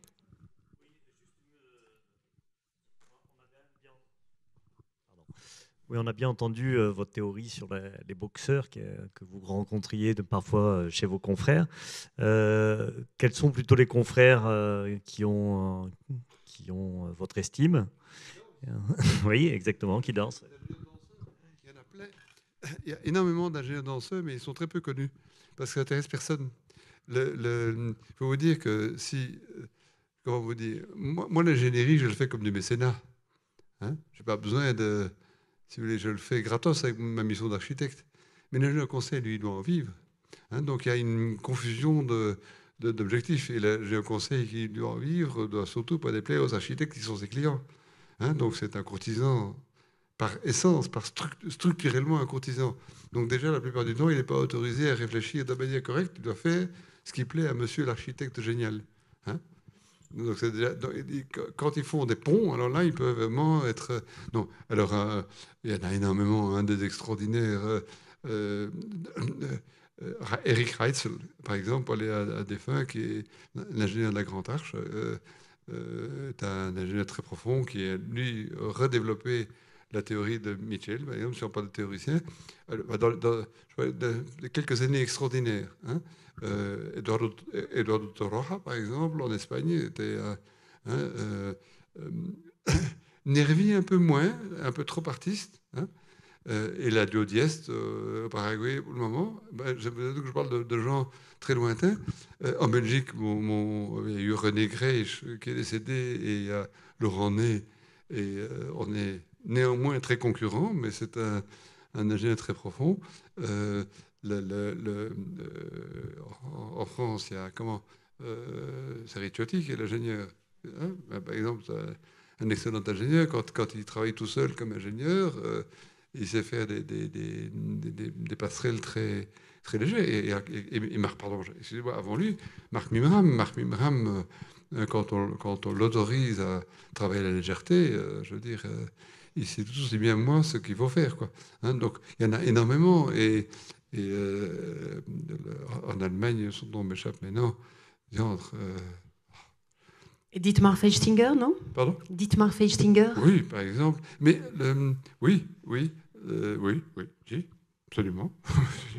Il est venu. Oui, non, non, je pensais, je pensais à. Pardon, bien, bien sûr, mais je pensais, son nom m'échappera. Le temps de, de, boire un verre d'eau, ça me reviendra. Mais non, il y, en a plein. Hein, Alors ma, question était aussi sur les architectes et euh, quels sont ceux qui ont, grâce à vos yeux, euh, on parlait de boxeurs tout à l'heure, j'imagine que vous parliez aussi, il y avait un petit parallèle avec Ricciotti que vous venez de citer, qui dit que l'architecture est un sport de combat. moi je préfère me promener dans une forêt. Je préfère me promener dans une forêt. J'aime, je préfère la lutte solitaire, me mesurer à moi-même accélérer en faisant une brasse ou courir un peu plus vite. Le, le, il y a énormément. Vous parliez de Lucien Kroll ah, tout oui, à l'heure. alors, par, exemple, euh, mais il y a, le nombre d'architectes dont j'admire l'œuvre euh, est, innombrable. mais dans les, dans, dans, je parlais de Lucien Kroll parce qu'il se fait qu'on a été honoré euh, conjointement dans la même catégorie il y, a, une petite semaine. Mais, euh, quand Lucien a eu le toupet, pensaient certains, la sagesse, pensais-je, de proposer la mémé l'humain évolué, il a fait une œuvre exceptionnelle, durable. Et quand, il y a 40 ans, je disais, Lucien a fait, va tout secouer, mais c'est la seule logique, et tous ces architectes Bonton, BCBG, qui font l'architecture à la mode des gazettes d'architecture, il n'y a pas pire que l'endoctrinement des revues d'architecture. Hein, plus, on pas tout, ce qu'il y a autour, le, système lié à, ces publications, qui doivent quand même se vendre aussi. Hein, mais donc cette architecture euh, BCBG du jour, de l'époque. Mais maintenant, 40 ans après, cette architecture est complètement foutue, usée. Par contre, la mémé de Lucien Kroll, elle est, elle est, elle est fraîche comme le premier jour. Quoi. Hein, et dans le même ordre d'idée, euh, il y a plein. Euh, on n'a pas le même métier hein, en France et en Belgique. Nous, nous, sommes économistes, project manager, construction manager. On est attaqué en justice euh, si on dépasse un budget à délai. S'il y a un accident sur un chantier, le premier devant les tribunaux, c'est l'architecte. Donc, on a intérêt à bien vérifier le plan sécurité sentier. L'installation des grues, c'est nous qui le décidons et pas l'entrepreneur pour être bien sûr que ça va comme on veut. Donc, on a, c'est des métiers différents. Donc, on, sur un projet, on passe beaucoup plus d'heures qu'une agence américaine ou française ou anglaise, par exemple. Hein, euh, mais, ça, c'est comme ça. C'est très gai, j'en suis très content. Euh, pourquoi est-ce que je vous racontais ça? On, parlait aussi de, Bouchin, Patrick Bouchin. Ah oui, bah oui, Patrick Bouchin, mais attendez, il y, en a, y en a plein. Euh, ça, c'est un truc que je devrais me préparer. Là, mon petit carnet avec tous les bon, alors, vous allez nous envoyer. Il y en a, il y en a des, centaines, si vous voulez. Mais écoutez, c'est très simple, une réponse euh, très, tout à fait euh, honnête. tous mes copains des Global Awards, on a été, en forme une famille. Wang Shu, tout à l'heure, ah dont bah vous oui, parliez. Ben, ben oui, évidemment. Hein, et on est, c'est pas pour autant qu'on entend, on, aime tout ce qu'ils font, mais on est, la bande des Global Awards, on est, on est, il y a une très grande, très grande comment unité et accord intellectuel et philosophique sur ce qu'on fait. Hein, déjà, eux, mais il y en a, plein d'autres, quoi. Vraiment. Mais comment vous dire euh, le, Prenez ceci. Hein. Ça ne manque pas de talent, évidemment, mais c'est dans un, dans un univers qui est aux antipodes du mien, quoi. Hein, euh, vous voulez parler de Pierre Vive, c'est ça? Oui, je parlais de, de, de, toute l'œuvre de Sarah Hadith. Hein. Il faudrait être complètement euh, euh, débile pour dire ça, ça vaut rien, c'est pas beau, c'est hein, magnifique. C'est comme Calatrava. Si vous voulez, ou, par contre, je n'aurais jamais de mots aussi méchants que pour le bazar de Guéry à Paris, là. Hein, hein, hein ça, c'est un champignon purulent. Fondation 8 ans. on n'a pas idée de... Ça, c'est une, une, insulte à l'humanité. ça se fait pendant que des, qu'on vend en esclaves des, des, réfugiés. Quoi.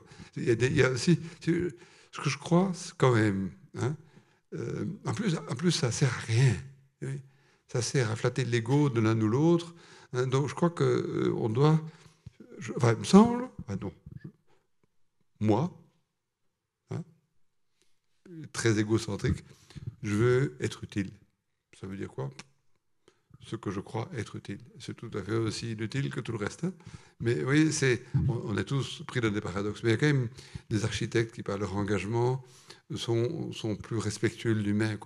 Claquer de l'argent pour paraître. Euh, il n'y a aucune musique qui a besoin de gros muscles. Quoi. vous voyez, les, plus beaux moments musicaux sont faits avec quasiment rien.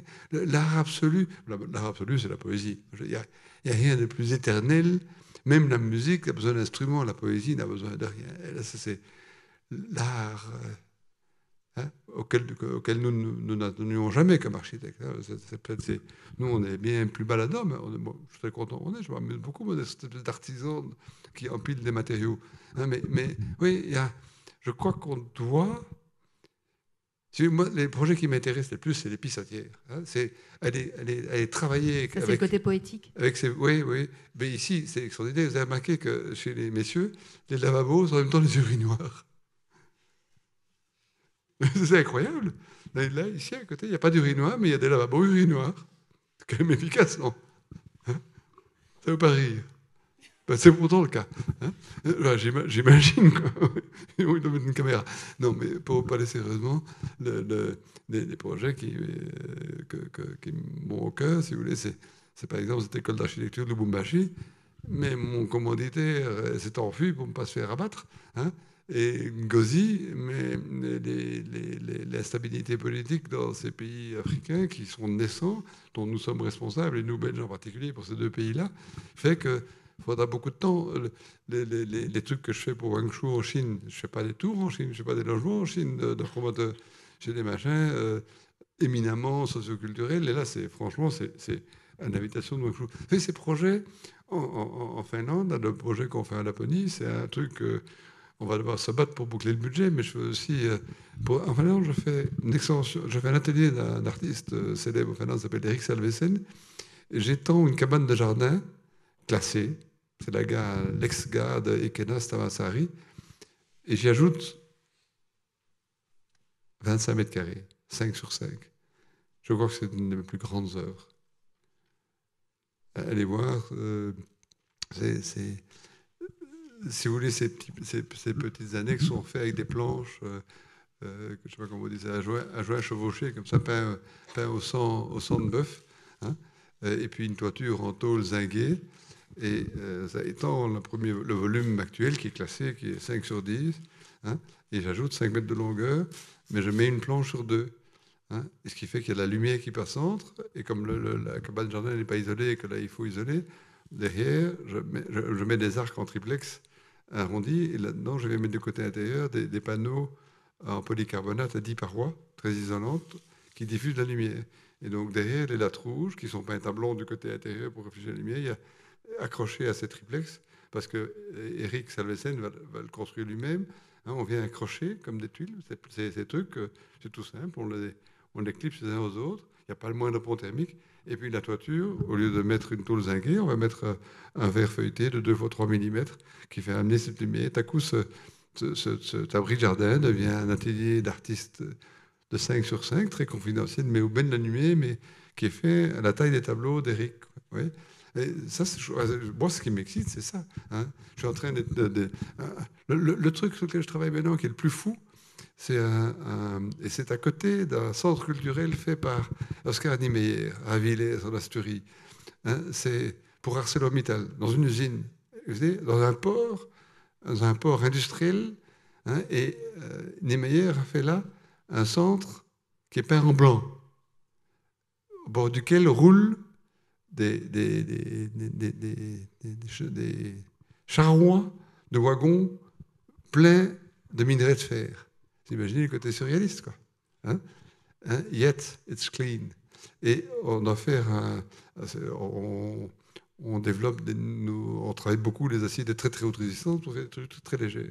Et comme euh, showcase, excusez-moi l'anglicisme, on va faire une tente sur un piquet central de 80 mètres de diamètre 75 mètres de diamètre, qui couvre donc 5000 mètres carrés, qui est fait en tôle perforée à 67%, une tôle de 0,5 mm d'épaisseur en acier S2000, donc 2000 mégapascales de limite élastique, hein, revêtue d'un film de TFE. Donc elle a la même transparence qu'une verrière classique style euh, la pyramide du Louvre, hein, mais la pyramide du Louvre, elle ne pèse pas 10 kg 10, 10 kilos au mètre carré, mais en pèse plutôt 5 ou 600. Et donc on fait une verrière, et elle n'a pas une portée de 40 mètres euh, sur un poteau central. Là, on fait portée de, 40, de 35 mètres, 34 mètres 700, je ne sais plus combien, hein, sur un pylône central de 10 cm de diamètre, de 25 mètres de haut et il est contenu au flambage par des, comme une toile d'araignée, par des, cordages de, des, de 4 mm de diamètre qui, comme une toile d'araignée, se répartit. La géométrie est essentielle dans une structure pour les faits légers. Et donc, si vous voulez, ce sont des câbles en tension qui, accrochés à une membrane en tension, tiennent à masse centrale en compression pour qu'ils ne flambent pas et qui travaillent à contrainte euh, totale. Quoi. Et l'ensemble pèse 10 kg au mètre carré. Ça, c'est... Oui. Et ça, pas d'ingénieur, Vladimir Choukov, 1890, premier homme qui a fait des tentes en acier. Hein, et c'est lui qui a fait cette tour en parabolique hyperbolique, en petit profilé, qui existe toujours en, Russie. Mais il y en a, euh, prendre une ontologie sur les grands ingénieurs, je dirais, hein, on peut parler de Fraissinet, euh, de, de, de, Bernard, et tout ce que, bah, il y en a, hein, des anthologies, quoi. Tu as la nuit euh, devant toi, c'est bon? Ok, est-ce qu'il y a d'autres questions? Combien y a-t-il de personnes ingénieurs et architectes dans votre agence? On est, on est 50 euh, archis, non, on est 40 archis, 10 euh, tout métier, financier, communication, enfin, le, le, staff management et 30 ingénieurs. Et avec le double cursus, combien? Euh, Ingénieurs et architectes comme vous? Aucun. Non, par contre, parce que, vous savez, tiens, à propos, hein, on est passé full Revit. Et vous, en France, euh, parmi, en Europe parmi les pionniers. Donc je crois que vous n'avez pas de problème, mais chez nous, on a un problème fou. Donc s'il y a des archis qui connaissent bien proficiency en Revit, peuvent commencer demain chez nous. pour le moment, on, manque d'architectes, d'ingénieurs qualifiés qui savent utiliser les policiers dont on a besoin, et Revit en particulier. Désolé pour... Euh, c'est comme ça, et en attendant qu'on invente un, moyen cher qui fasse la nique à Autodesk, hein, euh, on en a cruellement besoin. Et pour le moment, j'embauche à Bucarest, hein, euh, en, Hongrie, et en Bulgarie. Quoi. Hein, parce qu'il que n'y a, y a, pas de candidat, on reçoit 5 à 6 curriculums par jour. Et ma secrétaire, va no Revit, no job. Quoi. No Revit, no job, no Revit, no job. Action station, alarme, alarme, alarme. Hein. Les Chinois, les Chinois sont. Il faut se rendre compte. Est-ce que vous vous rendez compte que l'arrivée dans le ranking des classements des universités des Chinois et le, côté mollasson des universités européennes, mais c'est en pleurer. comment s'appelle le patron de l'EPFL Le nom m'échappe maintenant? Qu'est-ce qu'il a eu comme idée géniale? C'est un, euro, un neuropsychiatre. Hein? L'EPFL était une petite université de, province, hein, si pas de, village. Hein. il a transformé dans la dixième mondiale. Qu'est-ce qu'il a fait? Fait confiance. Il a ouvert ses portes. Communiquer, ne pas diaboliser l'industrie. L'industrie a aussi peur de l'université que l'université a peur de l'industrie. Ce sont deux peurs néfastes. Hein. Ça crée la suspicion illégitime. Et le grand génie de son nom m'échappe maintenant du, du, président de l'EPFL, 1999-2016, euh, je crois, pendant son règne, c'est d'avoir ouvert les portes de l'EPFL, fait confiance aux jeunes chercheurs, ne plus avoir des vieux barbons euh, dont les chercheurs dépendaient. Freedom, freedom, peace on earth, mai 68 dans les UNIF, quoi. Les vieux profs à la retraite, quoi. Et autre chose, hein, ce qu'il faut apprendre à l'UNIF, les profs ont une obligation d'apprendre, eux. Le problème des UNIF chez nous, c'est que les profs, ils imaginent qu'ils ne doivent plus continuer à apprendre. Il n'y a pas une université américaine ou chinoise où les profs ne, vont pas sur les bancs de l'école et continuent à apprendre. Chez nous, on croit que quand on a un doctorat, on a, fini. C'est une bêtise. Hein. donc, ça, c'est. Et, donc, euh, c'est clair. Euh, l'autre jour, je m'adressais à une bande de, lycéens qui cherchaient leur voie. Hein. et je disais, ben, vous devez apprendre le chinois, quoi. Hein. Puis il y avait quelques Français là-dedans. Enfin, non, mon père me dit non, les, Chinois euh, cultivés par l'anglais. Hein. Imaginez un peu, moi, quand je suis arrivé à MIT, euh, euh, j'aurais dû dire, mais non, les, Américains cultivés parlent français. C'est exactement la même chose, quoi. c'est aberrant. Il est évident que nos enfants doivent maintenant apprendre le chinois qu'on le veuille ou non. Hein, et vous, vous avez mis du mal à apprendre l'anglais. Hein, je sais pas, il était vraiment très résistant à ça. Maintenant, vous êtes bien obligé. Je pense qu'on sera meilleur en chinois. Ah, et surtout à Montpellier, on a, on a eu, oui, non, non, mais, non. Mais oui, c'est ça, mais vous êtes nous, voir en avance, évidemment. mais l'anglais, pendant un moment donné, vous avez été un peu dur. L'anglais, c'est toujours pas terrible. Euh, euh, non, non, mais, mais, probablement, vous serez meilleur en chinois. ok. Mais euh, oui, j'ai pas été assez impertinent, là, zut. Une dernière question Ou on continue à côté? On continue à côté? Ou avec le café? Euh, avec du avec- vin. vous êtes avec le du thé vin, du Ah non, à côté, pas avec à- le thé. À, côté, à côté, à avec du thé, si vous voulez, du café, euh, voilà.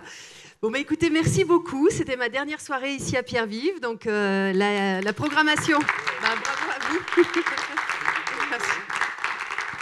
Voilà, bah, merci à tous ceux qui ont suivi pendant les cinq années euh, les conférences qui ont été organisées. Ça va continuer évidemment avec euh, d'autres personnes. Euh, en 2018, vous recevrez les mails avec les, informations. Et puis, ben, merci à vous. C'était une dernière quand même assez exceptionnelle. Donc, euh, à très bientôt et surtout à très vite à côté. Il y a des profs de l'école d'archi qui vont pouvoir euh, discuter avec vous aussi, des ingénieurs, euh, des ingénieurs, des architectes, des étudiants, des citoyens qui s'intéressent à l'architecture. Donc, à tout de suite.